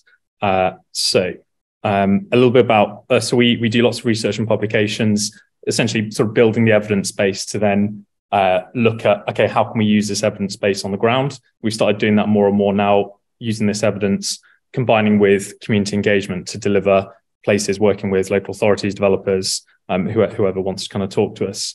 Um, I guess looking at some of the initial research that we did was pushing back at guidance and looking at why is it that we're, we're not able to reproduce some of the very high density, incredibly popular places that you know a lot of people know and love. Um, you know, examples from from London here, you know, about where you can't reproduce this now due to different bits of guidance, you know, whether it's light, whether it's back to back distance, which is something that lots of urbanists have kind of heard and talked about, where you've got your, you know, your 20 meters back to back distance, which is really quite arbitrary. And that's preventing you from, you know, really developing quite high density mid-rise um, housing. Um, I put in a few bits and pieces here around sustainability. I know that's quite a big focus for today. How can you, um, in, in such a you know incredibly fast growing country, how can you deliver lots of homes to you know tackle housing crisis that we either have or you're going to have if you don't do this um, in the future? Um, there's clearly a place for for towers in in cities, um, but we do know that you know they come with some downsides as well. So, for example, the service charge in Shakespeare Tower is about eight thousand pounds a year. Most that, well, sorry, eleven percent of that goes on window cleaning. Um, this is a lot more than you, you'd pay in um, you know n- normal homes where you could probably just do it yourself. Uh, there's also some quite good research. There's from Professor Philip Steadman, who's um, does some really good stuff at UCL actually, uh, looking at the difference in energy use uh, and electricity and electricity use, fossil use, and carbon emissions at different um, heights of buildings. A lot of this is to do with wind circulation patterns. When you have you know very high buildings, they need to then be um, either I, I guess depends what climate you're looking at, but they need to be warmed quite a lot. But also when you get lots of um, high buildings, you're not going to be able to open the windows to sort of let that natural ventilation in. Therefore, you're going to have to have a mechanical and technical solution to that. Um, so it's you know worth worth showing where you get some really quite high energy uses when you go up to uh, you know greater than 20 stories. um, I, I, got into urban design because I was very interested in sustainability. Um, one of the I think missing factors of sustainability that we tend to see is um, almost like the denominator in the in the equation. You know, how long is this place or this building being used for? Um, we could build a very, um, I of get very frustrated when I see passive house um, buildings out in like, I don't know, you know, middle of the countryside, and there's like four Teslas outside and a big kind of asphalt driveway. And I don't think that if you did the, you know, whole, if you drew a control volume, I'm an engineer, sorry, if you drew a control volume around the whole of that and looked at the energy going in, I really don't think over the lifespan of that house that it's going to be as sustainable as you know some of your um, seven story mansion blocks in, in, in the center of the city. Um, so one, one of the points here is if you build something beautiful, build something popular, build something that people who live there know and love, they're going to tend to reuse it. They're going to fight to reuse it. And I think you're more likely to see where you, you do see the telephone box on the left as that tech is kind of you know redundant now. That gets reused on the right. I think most people are campaigning to remove that because it's street clutter. Um, you know, here's an example some factories that you know tend to be more likely to be repurposed. You see a lot of this in Manchester as well. Some of the, the mills that get repurposed into into uh, apartment blocks. Um, and I think there's a question here: will, will some of the towers like that be be around in 100 years? I'm not too sure they will, to be honest.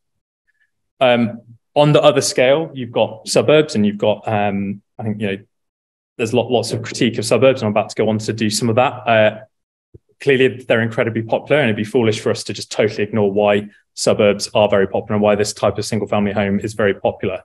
uh, you know, lots of people, you know, the, the, the drivers of uh, value tends to be location, proximity to jobs and work and, and good transport um, and space. And obviously this delivers space and abundance um, and privacy as well. However, we know the downsides of this. We, we've, we've heard a couple of talks around connectivity and around transport. Um, if you do end up having the, the classic urban sprawl, you, you know, tend to drive three times as much. You're going to have more traffic accidents. Um, favorite stat here is if you commute over 45 minutes, you're 40% more likely to get divorced. Um, and the top 10 happiest nations have commutes under the global average. So um, I think reducing that commute is one of the things we can uh, do to increase people's happiness more than almost anything else actually in the urban environment. Um, in very tall blocks, it can uh, tend not to be good for you. Again, this is this is uh, evidence um, between 1962 and 2008. I don't know how much of this is also um, uh, from from sort of India. I don't think much of it is. Uh, satisfaction with home tends to be um, quite high as, as a negative trend um, ar- around sort of depression, children, crime, and social behavior. You tend to get correlations between that as well. Um, they can be very, you know, they, they can work very, very well for uh, professional couples, or if you're single um, or living on your own, working at, you know, working professional uh, professional jobs. Uh, this, so this is kind of why we've landed at the view around what we call gentle density, which is essentially, you know, high density mid-rise mid-rise homes. So where you've got your terraces, um, mansion blocks, split level maisonette terraces as well to deliver really high densities. Uh, and they can. So this is you know three ways of doing that. You've got very high rise, low coverage. So left, mid rise, medium coverage in the center, and on the right, um, a sort of you know classic Victorian terrace street. And these are all 75 dwellings per hectare. Um, I've kind of I've, I've shoehorned this one in here from a couple of talks I was doing on transport as well, because I do think the two go hand in hand, which is because we've seen such a sort of dominance of private vehicles coming into the city and coming to our urban areas, um, we've made room for them. Um, this is uh, Temple Circus in Bristol. Uh, you can see the open space has gone up 47%. So your planners are probably getting a really big tick. This is great news. We've got lots of new public space. It's in the center of roundabout, but that sometimes doesn't seem to make a difference. Um, the carriageway space has gone up as well, 10%. Um, and to get the same number of homes as you would have in 1918 on the left there, you are going to have to build up. But then you get this common phenomenon, which you see, which is fast roads, wide roads, and tower blocks. Um, if we look at, and again, this is Europe, this is absolutely fantastic um, map uh, by Dan Cookson and Alasdair Rae, uh, where they've essentially taken all of Europe, split it into one kilometer squares, and looked at census data to look at the population. So you can go and sort of play around with, um, go and look at Spanish cities is my, or Spanish towns is my tip if you want to see amazing, um, high density, you know, beautiful places.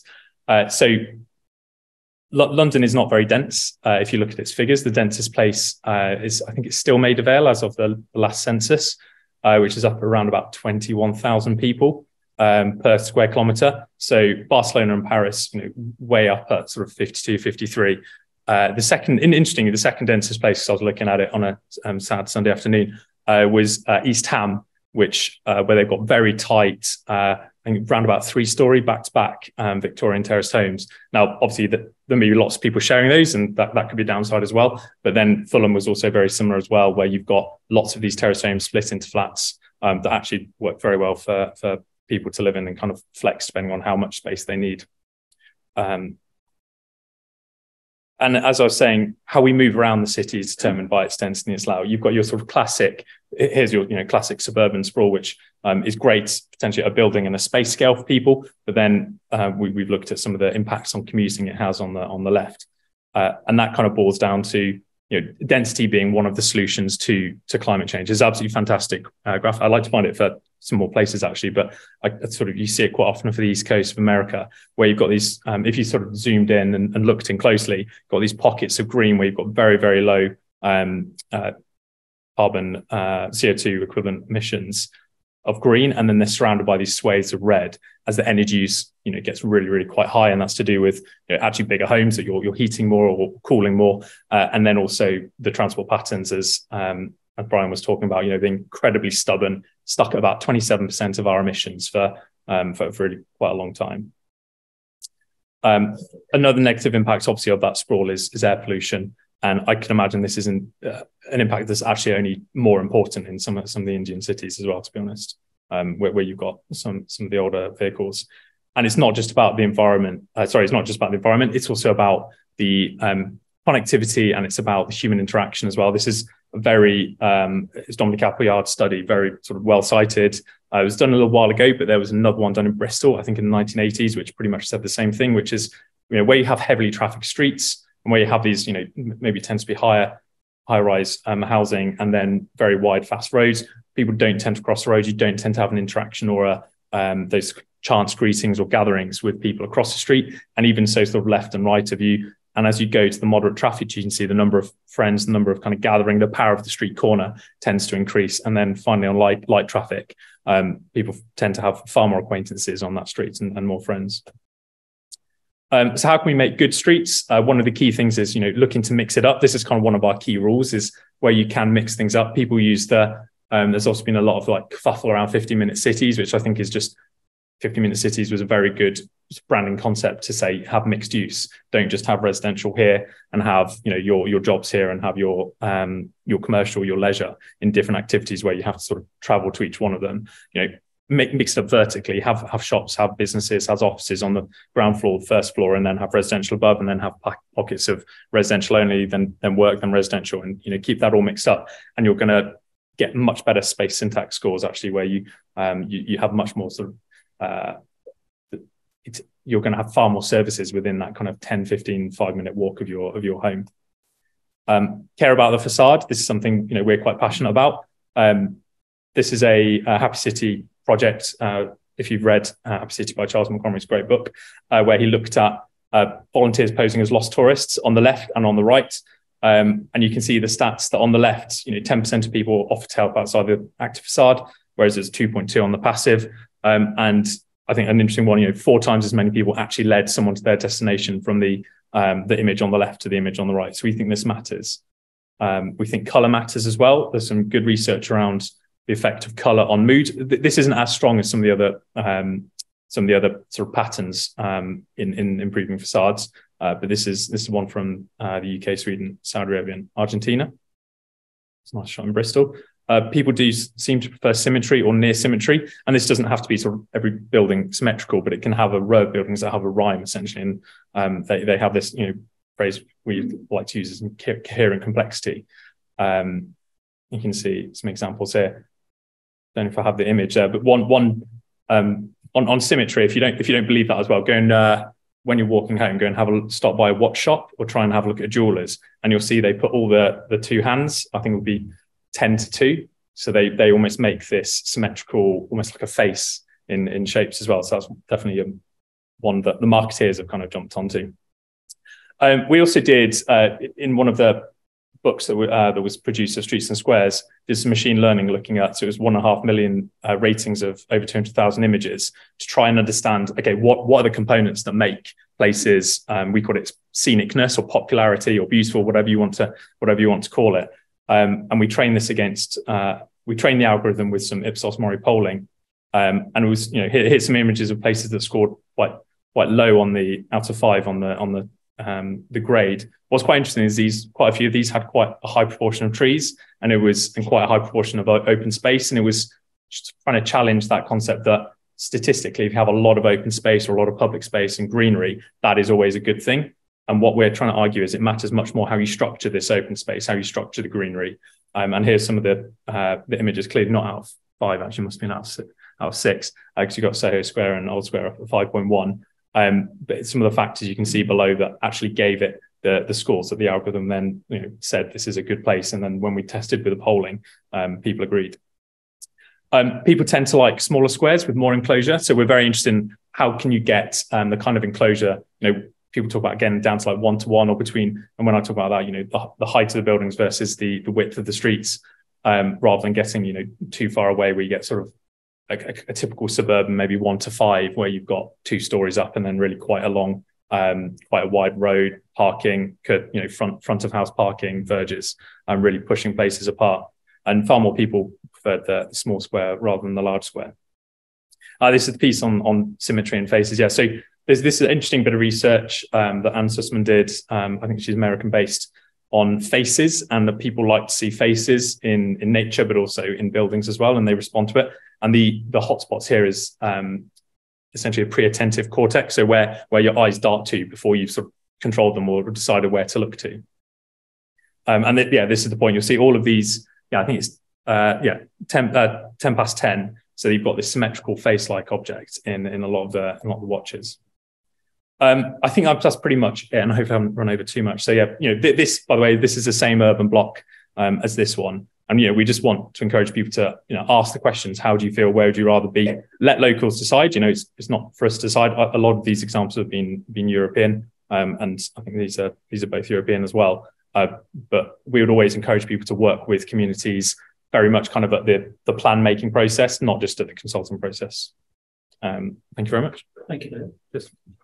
I'd just jump back and do questions again. Yes, let's do questions later. We've got two more speakers. So um, Savini um, Rapachat, Rap, sorry, Rajapatska. There we go. Okay. uh, from the Princes Foundation. Um, so um, over to you. Yes. Thank you. Okay. Can everyone hear me okay? Um, I'll just close this because I'm not going to share slides. I'm just going to talk at you. Um, so, um, yeah, so I'm an urban designer at the Princes Foundation. We are, um, there's a small team of us in the Princes Foundation. We are part of this projects team. Some of my colleagues are here today, actually. Um, so please do come and chat with us later if you'd like to. Um, and we, our, our, team, work on projects around the UK and the Commonwealth and the world, uh, around the world, championing and delivering sustainable urbanization. Um, and what's really interesting for us today, I mean, some brilliant presentations and so interesting to hear um, from so many great speakers today. But uh, it was absolutely fascinating to hear about the SCAD program in Valley and to hear from Charles about um, what they're doing there. And I'd quite like to go back to that conversation we were having um, following that following that presentation because what we've been doing have very similar parallels of this sort of community-led, locally led, um, bottom-up approach to responding and planning for the most pressing, difficult urban challenges that um, that we face, and particularly cities um, in places like India will face in the future. Um, we have a, a, project called the Rapid Planning Toolkit that we're developing at the Princes Foundation in partnership with um, a number of our Commonwealth partners, uh, which is a bare bones guide, uh, a very simple, practical guide to implement um, planning that can be led by local local governments, local leaders um, in the global south to respond to rapid urbanization. Um, and the focus of this project is primarily to equip these um, these smaller uh, um, cities that have less capacity and less resource with the expertise and the cap- and the capacity to plan. So, just to explain a bit about the context of why we've produced this um, project and why we've created this program. Um, the fastest, we've identified that the fastest growing cities in the world globally are in Africa and Asia.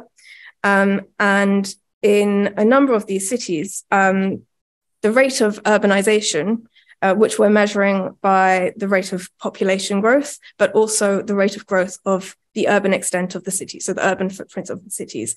They're growing in incredibly, incredibly rapidly, um, sometimes exceeding 5%, where you have European cities that are growing at 1 to 2%.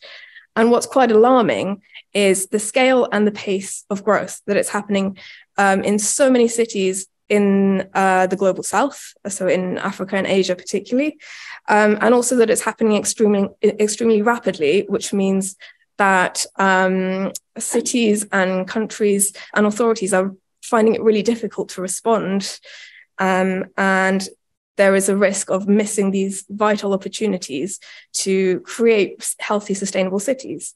So uh, when we look at India, I mean, in fact, I, I mean, I'm not very familiar with India myself, but looking at the stats a little bit, we have um, there are cities such as Kozhikode in which used, I think it's known as Calicut sometimes as well. The urban extent of um, the city is growing as much as 15% per year. Um, the population growth of the city is only 7 to 8%, which means that to a certain degree, the city is also sprawling. Um, and then similarly in cities such as Belagaum, Hindupur, Pune, Singrauli, they're experiencing rates of population growth at 3 to 4%, but also growth in their urban footprints that exceeds 7%. Um, so what this means is that in the next um, in the next 20, 30 years, these cities will see a rapid change in you know in the constitution and there will be an enormous amount of growth that takes place and even when you even when you look at what's already happened because india's seen a, certain amount of um, urban boom uh, urban growth it, it, it's leading to quite a drastic change in in these cities so we also have to consider that according to the united nations by 2050 more of india's population will be living in cities than in rural areas. And while some of this rural to urban migration, which is going to be fueling the growth of the cities, it, some of it will go into the mega cities, but quite a lot of it will also go into the 150 or so smaller cities, um, perhaps intermediary cities, or we sometimes call them secondary cities. Um, that and, and it's these places that may face the biggest challenges to respond to urbanization because they have less capacity and resource in the form of architects, planners, and built environment professionals. And nor do they have the thoroughly developed planning frameworks and policies that would, would enable them to um, prepare a plan for how they might grow and adapt to this change. So, um, the Princes Foundation, uh, well, our rapid planning toolkit, um, it it meets this, it, it seeks to meet this need for um, a planning tool um, to, act, to establish a framework for sustainable growth and um, particularly responding to the critical lack of capacity in rapidly urbanizing Commonwealth towns and uh, intermediate cities. Uh, the thing to say about the toolkit is that the key is that it's about a rapid response and it's something that local leaders can implement. Um, and uh, I will share some QR codes, but you can also go to our, our website, which is rapidplanningtoolkit.org, uh, to have a look at it. Um, to summarize it, it's four simple steps. It's about getting stakeholders together, to, uh, uh stakeholders and communities together to create a charter, a vision for growth, something that the local people can endorse, um, making a plan for growth, uh, identifying areas that are suitable, um, implement implementing implementing the growth plan. So that means create um, protecting transport corridors, just protecting infrastructure routes, and identifying um, natural assets or community uh, community assets, and um, and then finally building the neighborhoods. So it sounds it sounds simple for uh, what is essentially quite a complex process. But um, we have piloted this project in a uh, in a town called Bo, um, or city called Bo, sorry, in Sierra Leone, um, and that's quite recent. We did this project in 2020, and um, in Bo, the population of around 270,000 people is set to triple by 2040. So a team led by the local mayor and a, the planning officer implemented the steps of the toolkit. And um, they undertook a number of workshops uh, to engage the stakeholders and, engage the community, um, forged this charter uh, that was endorsed by the locals, and uh, understood that they needed to address some um, some serious challenges one of them being overdevelopment of uh, fragile wetlands, which was creating problems of sanitation, uh, poor health, and also you know, destroying ecosystems. So, using the toolkit in just nine months, um, the city of Bo successfully secured buy in and ownership of this growth plan. Um, with uh, communities, landowners, and governments agreeing on this plan for growth and um, moving forward to protect blue and green corridors, uh, protect their wetlands, and um, find key transport routes and spaces for community facilities. Um, what's what I find quite interesting about how they did how how they did this and what we advocate for is a um, again this community involvement um, and so uh, one strategy is actually using tree planting. Now, I think you, you spoke a little bit earlier about how tree planting um, has been used in, in India as well and with SCAD to um, engage communities and involve the local people. And we found that in Bo, it's a, a very um, a very gentle way of identifying and marking routes, protecting sites, and creating these um, protecting the um, assets to stop development from taking over where it's not wanted. So um, we're also we're also looking at implementing the toolkit in uh, a village in Bangladesh called Kazagon. And this program is led uh, by a joint university program with Shah Jalal and uh, Birmingham University. And they've been undertaking similar workshops in the community. Now, that's a much earlier project, and um, they're, they're actually putting it together an exhibition at the building center uh, quite soon. But um, in addition to that, we're looking to kind of implement this further in um, uh, uh, well in other cities in the Commonwealth that would appropriately make use of the toolkit to be able to allow local leaders to plan for create a plan for the growth of their city. Um, and the way we're doing this is we've created a free online um, uh, set of activities that is hosted by the University College of Estate Management. Um, and it's essentially like a CPD. So anyone can log in, it's free, it's accessible, and you can do the course and you can do it uh, as an education course or an, as an implementation course. So that's whether you want to learn the process um, of, you know, a simplified process of how uh, how a city might plan for growth, or whether you want to be an implementer and actually uh, undertake this process for your city. So, um, whilst we're still developing this and looking for funding to be able to support more cities in this, um, it is available if you want to if you want to explore and if you if you want if, if it's um, suitable for another city to take it forward. We're very interested in hearing hearing from you and getting your thoughts on that. Um, so those are the next step, and that's a quick summary of the toolkit. Um, I'll share these with you, but please do ask any questions at the end if you have any. We'll keep some time for questions. Yeah. we have. Thank you. Thank you. We have our final speaker, um, Roxana Slavcheva um, from the Connected Places Catapult, who are looking at twinning with Indian and UK spaces. Thanks, David. Hello, everyone. It's uh, it's a pleasure to be here, um, to be invited to speak, but also to to close what's been a really fascinating um, list of speakers. And uh, list of talks as well. Um, so just to give you a bit of background before I go into the specific programs that we do in India about who we are. Um, so some of you might have heard of Future Cities Catapult or other catapults. We're a network of, of nine actually set up by the UK government to advance a particular sector of the UK economy.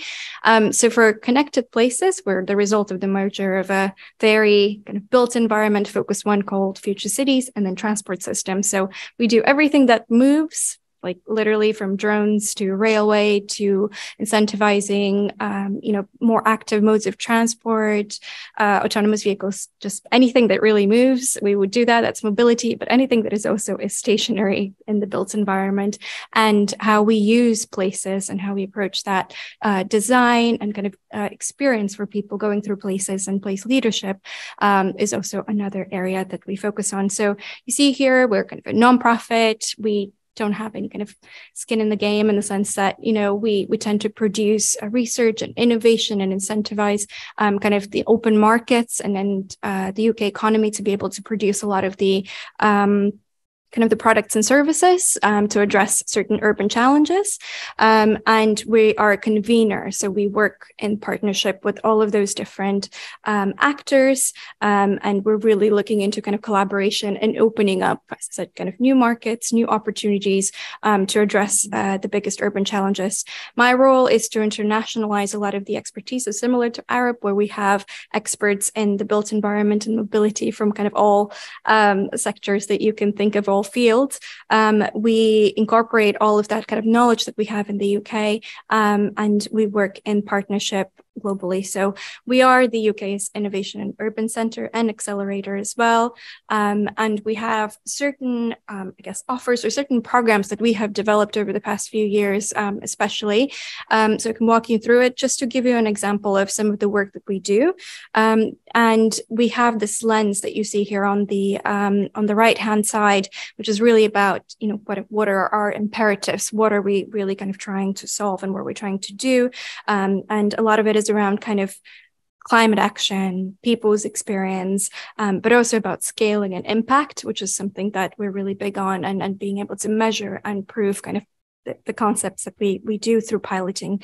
So one of the areas is city innovation twinning, which is something that we are developing in several countries and several cities with, with the UK counterparts. It's really about identifying the competitive um, edge, competitive advantage for each of those cities or particular places within those cities. So we'll go into that detail for India in particular, and then twinning. What can you actually learn from each other and how you can take partnership to the next level so you can create a pipeline of specific projects and opportunities that you can collaborate on. So it's really about kind of place leadership, but it's also about the specific sectors and projects and how to involve partners in the process to create something that is bigger than the sum of its parts. For net zero investment and implementation, so we build on a proprietary city typology tool that we have, and it's really about um, kind of looking into the innovation journey or the particular kind of net zero journey that each of the cities are taking. Um, so the likes of Dubai um, are going to be on a different journey than the likes of, um, you know, um, Bangalore or, you know, London Singapore. So they're very different in the sense that although there are commonalities based around kind of urban challenges and growth and development, in terms of kind of where each innovation ecosystem sits, that's kind of quite different and the different approaches to solve the challenges as well. So it's really about kind of understanding, you know, how they can be matched up as well and how they can learn from each other. Um, with an, uh, specifically with the net zero lens, which is a, a obviously the, the, lens that applies to kind of all of our work. Um, in terms of uh, the third one, it's city challenges and open calls and pilots. This is uh, the one that I will focus on today in particular, um, because it's really our bread and butter, but it's also the really the, the way for us to be able to showcase whether a concept or a particular solution works. It's to test it small scale and then to understand whether that applies in the the longer term and the longer kind of the bigger scale as well. Um, then we also have showcases and accelerator programs. Um, we do a lot around kind of roadmaps and strategy. So we've helped um, Indian cities in the 100 sort 100 Smart Cities mission, for example, some seven or eight years ago. And it's really about taking that strategy and roadmap now and seeing how we can implement it. And that's the next stage we're at now after the funding from the national government for all of those smart cities uh, programs have dried out or run out. It's how do we work with the cities um, to be able to find a sustainable business model in order to kind of take that forward um, and implement some of those kind of uh, roadmap recommendations.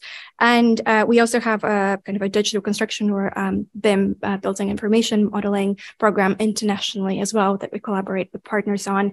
Um, and it's really about kind of again delivering on the smaller scale on the building side as well. So um, to give you an example of some of the piloting work that we've done, um, this is a, an award-winning uh, program that we ran in partnership with other catapults as well, um, and it's called Innovating for Clean Air. It's um, a program that wouldn't have been possible if we hadn't worked with the director of urban and land transport and the Indian Institute of Science. So we needed to have the local partners um, really fully committed to help us transform um, what is one of the busiest streets in Bengaluru, uh, which was our test site that we uh, we identified, and to create it into a clean air street.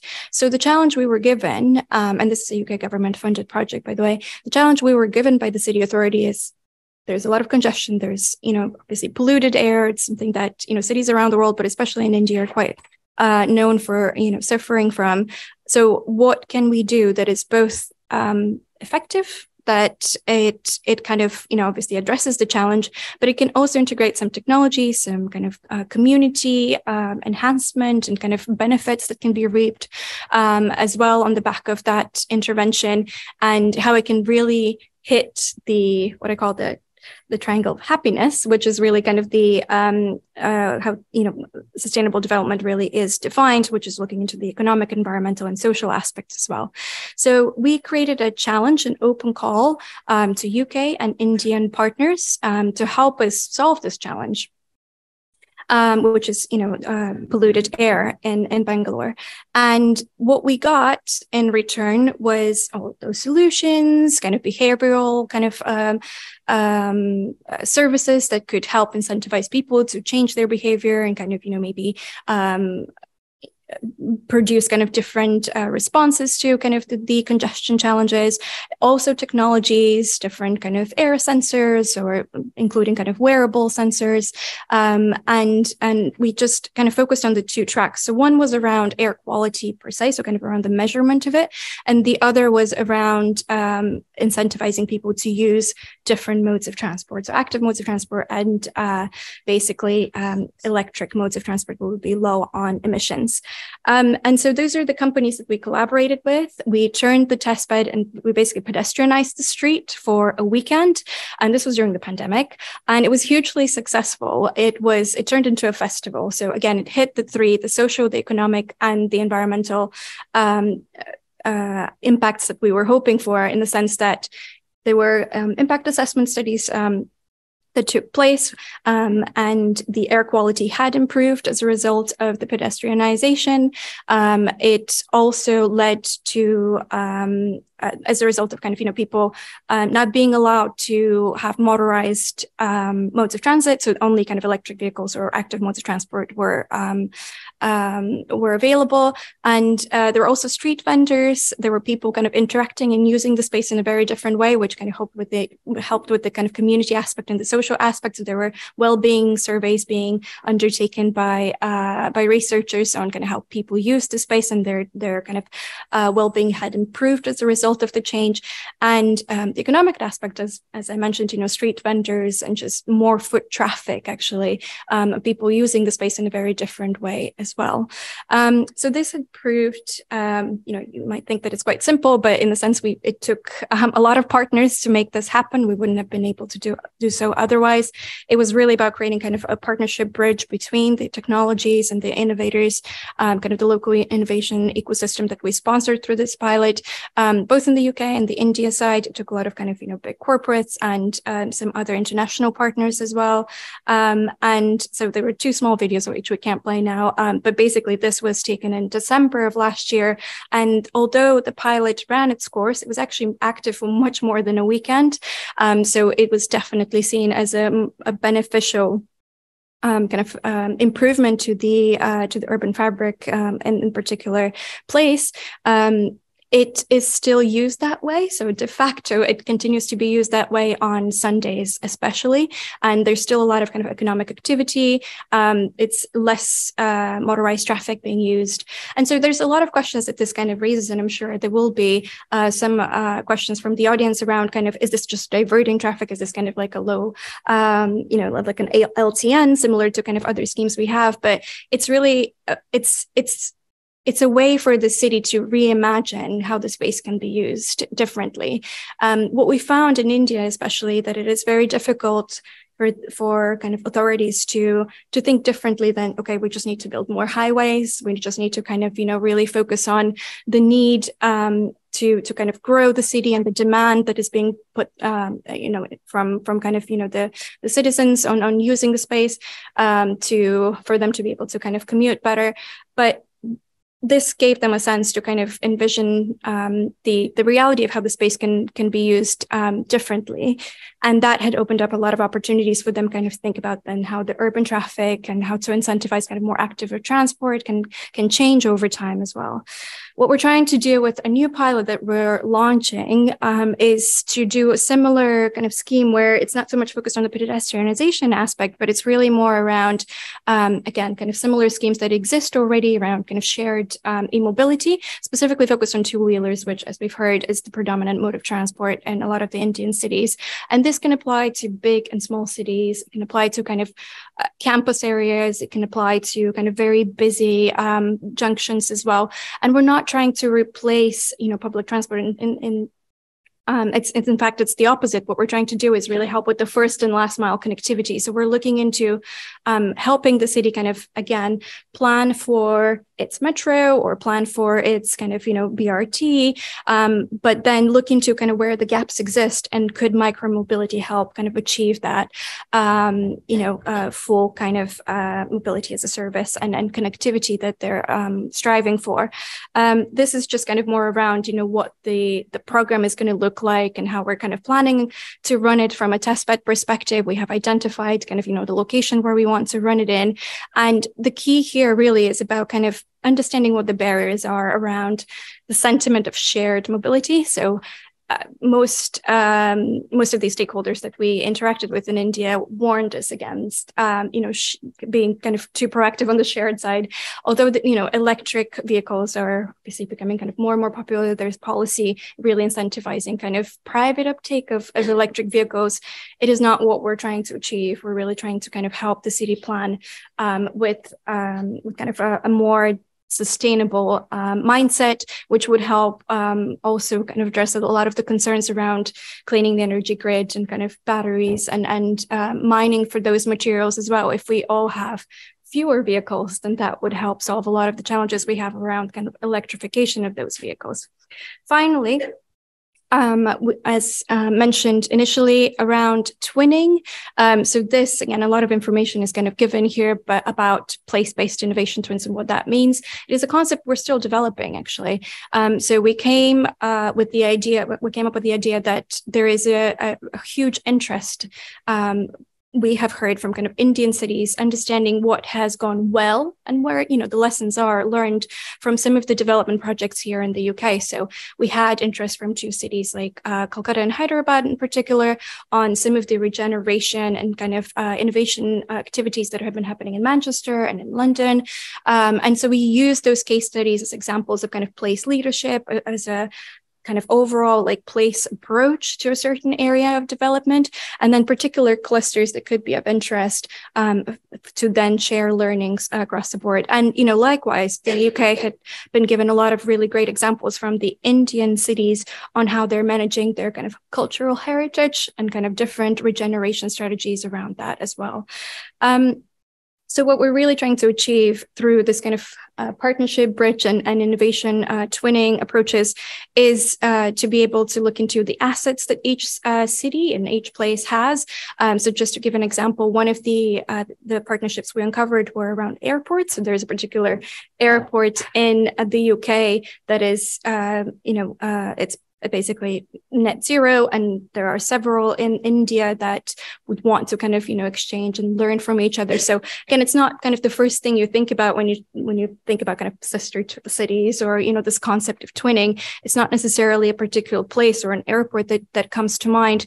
But those are the type of kind of um, really interesting projects that we're uncovering through through our work where we actually see that there's a lot of similarities but at the same time you know different challenges different capacities different sort of approaches to how a net zero airport can, can take place. And that's just giving one example but there's a lot of um, other ones that uh, that again we're, we're kind of uncovering through this process. Um, so just to to I guess, summarize everything or to, to, to, at least kind of kind of hammer in one point.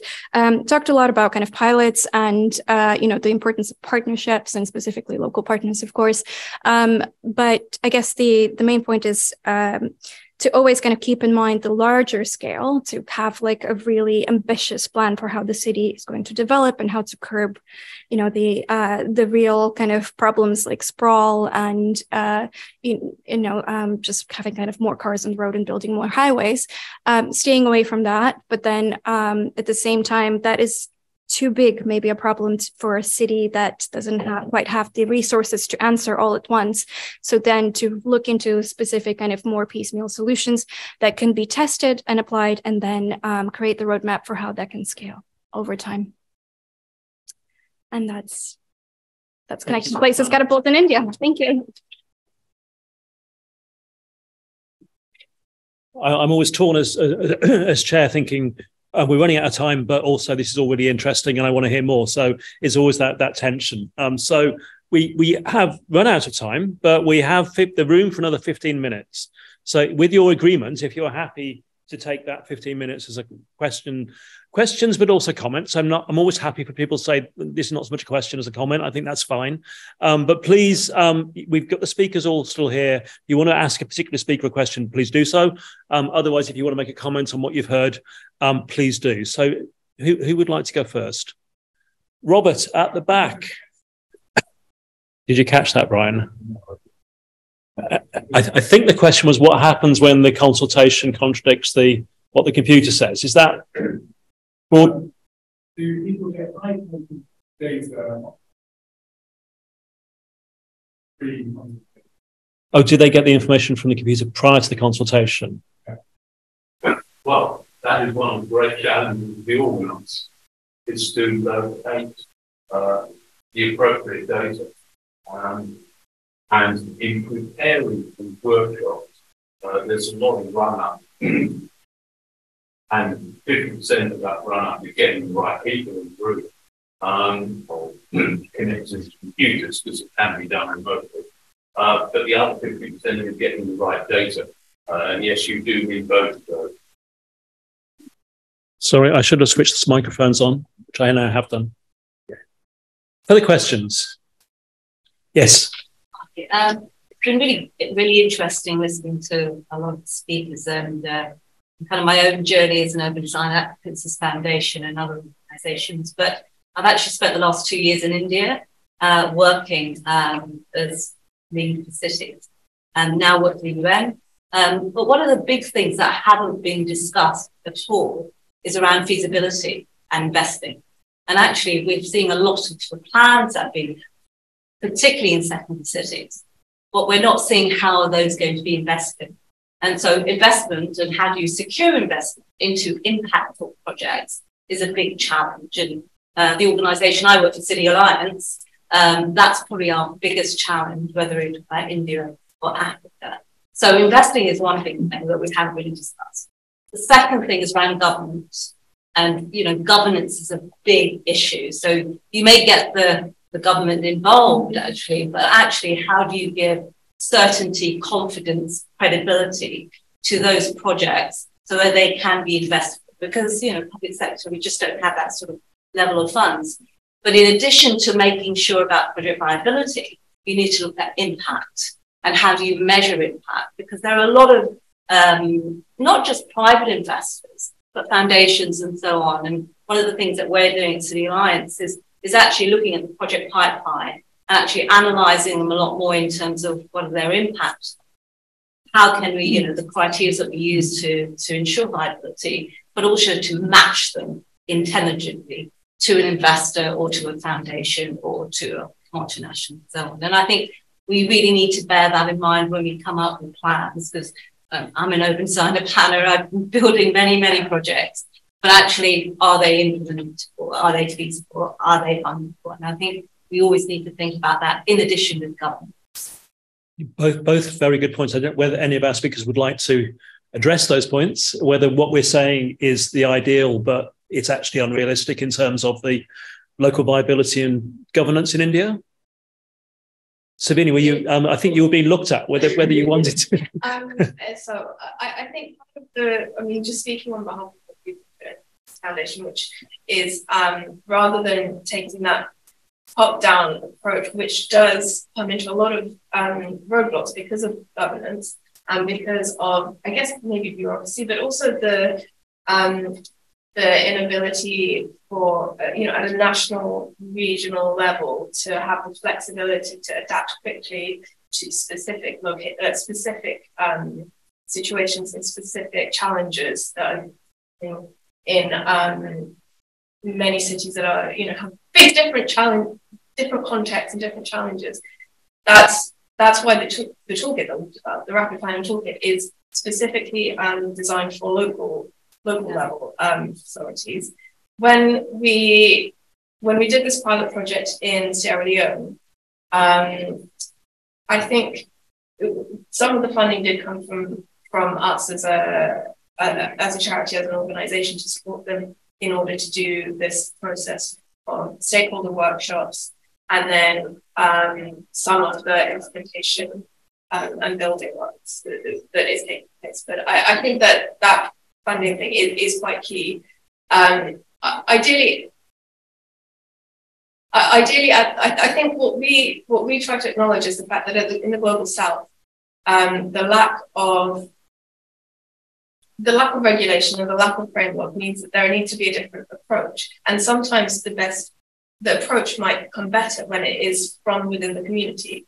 Um, so, for instance, uh, we advocate this landowner workshops where you know, the um, the thinking is to engage engage landowners um, and uh, potential local investors in a vision or charter for benefit of the community, for the benefit of the city, so that when if they are required to give something up, or if they're required to um, you know forego a small amount of land because you know that needs to be an like infrastructure connection or an arterial road, they can see that it is not just that they're not losing something, that they're gaining something from having a plan.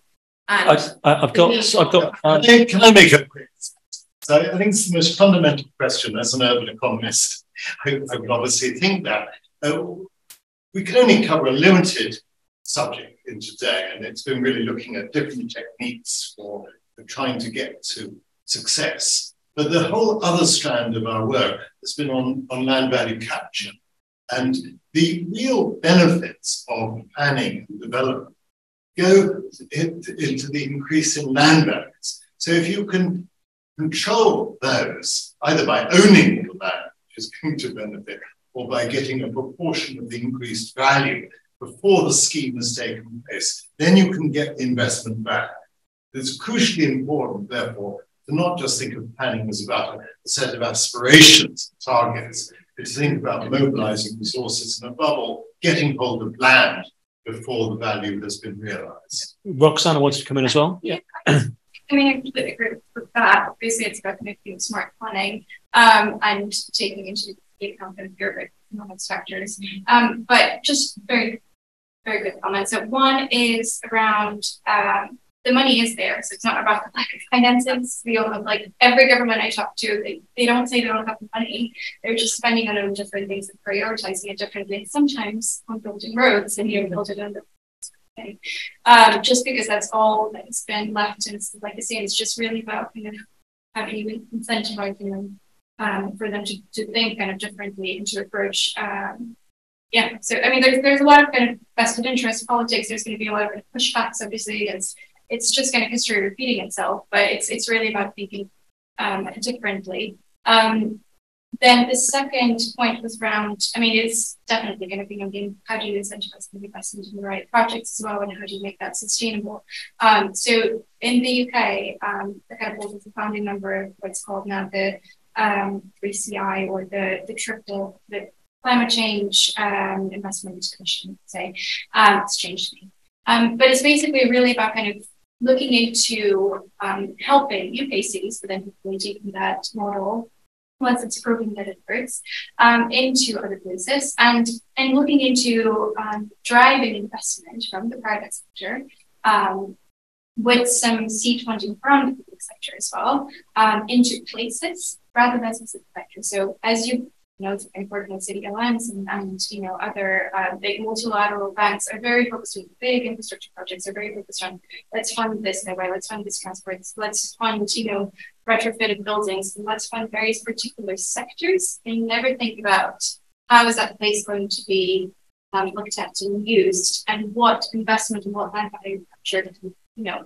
actually being brought into this by using the place in all of those different again, this is touching upon a lot of the presentations that we've heard about kind of, you know, good development practices, but that's precisely the investment package and proposition that this particular kind of um, uh, commission is, is undertaking to, to think of it from kind of a place perspective, a city perspective, where investment is going to be driven and attracted, um, you know, in, in the right approach rather than having a particular kind of um, uh, infrastructure. You, I mean, you know, there is so much money out there, um, but you know, and then people say, well, where are the projects? And there are so many projects out there. Problem is, are, are the projects implemented? Are they impactful? Yeah. Um, and is the governance around that secure enough to get an investor in? And I think that's the the biggest challenge. And we're working locally, you know, a, a, a little example is a project that we're doing in Uganda at the moment with um, seven secondary cities, um, where the very small cities just do not have the capacity to get the data that they need for a solid to waste energy project that we're doing. So we're now kind of focusing on one area um, to demonstrate that there is value in that project. Okay, I've got two more questions. We, we need to keep at least two more questions, if not three. Let's let's make keep them quite brief and, and snappy so that we can get everyone in. So, gentlemen here, uh, well, both of you, both of you, I was going to cover this. So, yeah, there's talk about rapid urbanisation, and with that comes how you're building houses to accommodate these people, sustainable as well. And there's no talk about how the growth you are going to build. So, for my opinion, you can only do that through MAP through MMC, modern methods of construction, to rapid growth. And what we're doing is we're working with the DIT in showing how to build, whether it's in Africa, North America. Uh, we just came back from doing a show in Dubai. We did the Big Five in Dubai in how we can build and train local community to build sustainably so that they, they support their own community whether it's net zero or whatever. And I think that's the elephant in the room is mm-hmm. how we're going to build sustainably and not use concrete in these up and coming um, yeah, yeah. yeah. Gentleman behind you. So you, you, you yeah, yeah, you had your hand up. uh, yeah, I, am a, bit, uh, a bit concerned about you saying there's lots of investment and so forth. Now, China has been pumping money into the, the, the so-called third world, right?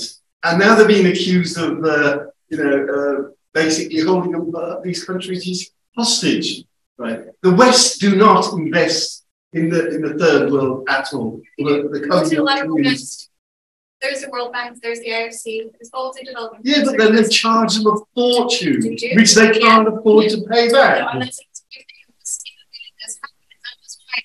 but you're right. You're absolutely right. And they're they're focusing on the the big infrastructure projects because it's something tangible. They can say, we funded this highway, and it's been funded by you know, it's just you know, there's a plaque there.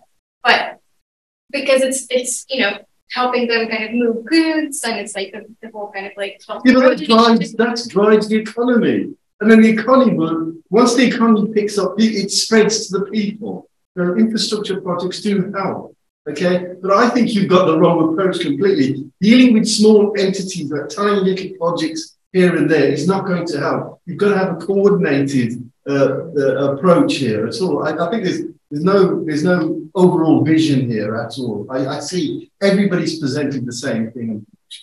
I'm okay. not convinced. That's all. Not convinced. That, that lady over there with the white jumper. I had the opposite response. I thought it seems like the grassroots thing projects have clear impact. At least we're able to see the impact, the community is able to benefit from the impact. And I guess my question was um, in big city, with in the smaller locations, the smaller city, I grew up in Tamil Nadu, so you know, smaller cities um, or small, I guess, villages, the community exists and people are already invested in the community or they they are, it's easier to engage them in placemaking activities. Whereas I wondered in urban spaces where most people are migrants, so I grew up in here, most people are coming from elsewhere, how do people get invested first in you know engaging in community building activities? Because then maybe your problem comes up, right? Because we don't know whether there's impact or not. Um, it's harder to coordinate these very large people from audience I just wondered how do we translate the success of grassroots in urban spaces. Which is a perennial problem for planning.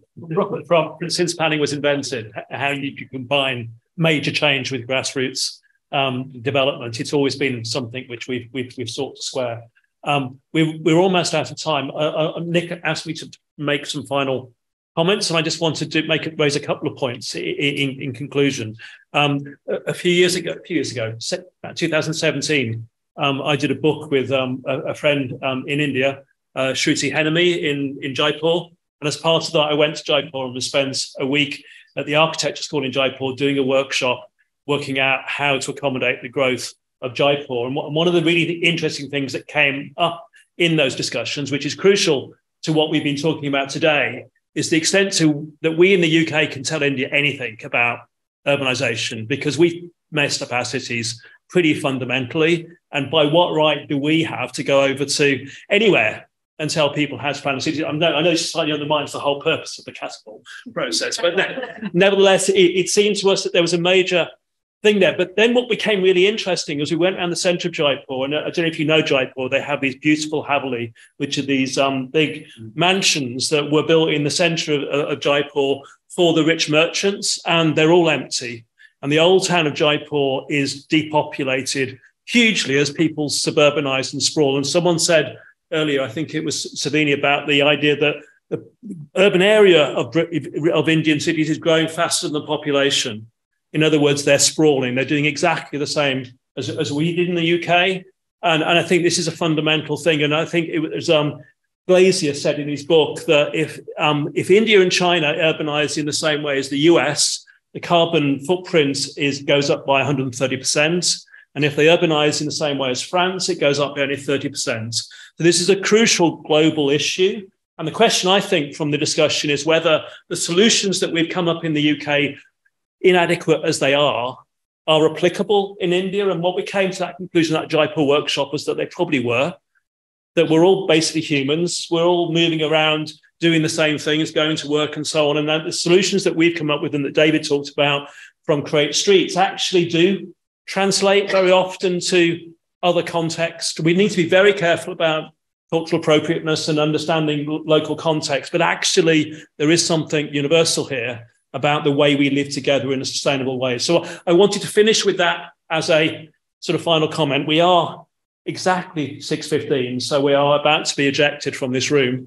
Um, but thank you for all the speakers. It's been a fascinating and really interesting afternoon. Thank you for Charles for coming across from India and really inspiring conversations about what SCAD has been doing. And thank you all for coming to, to what's been a fantastic, fascinating event. Correspond. Thank you to the speakers for compressing a huge amount of material into an incredibly short space. We will try and produce a report. I'm delighted that the Urban Design Group, to whom we must ever be thankful, will be producing a video. Of, uh, they, they will be turning this into something manageable. I will be helping to try and summarize the results. But if any of you want to contribute more or help, we'd be only too glad because the whole idea was that it should be a two-way, from the very beginning, a two-way street, a, an attempt to get people together around shared interests. And I hope, if nothing else, we've been, you've learned about some things which you didn't know about before, which are operating in a related field.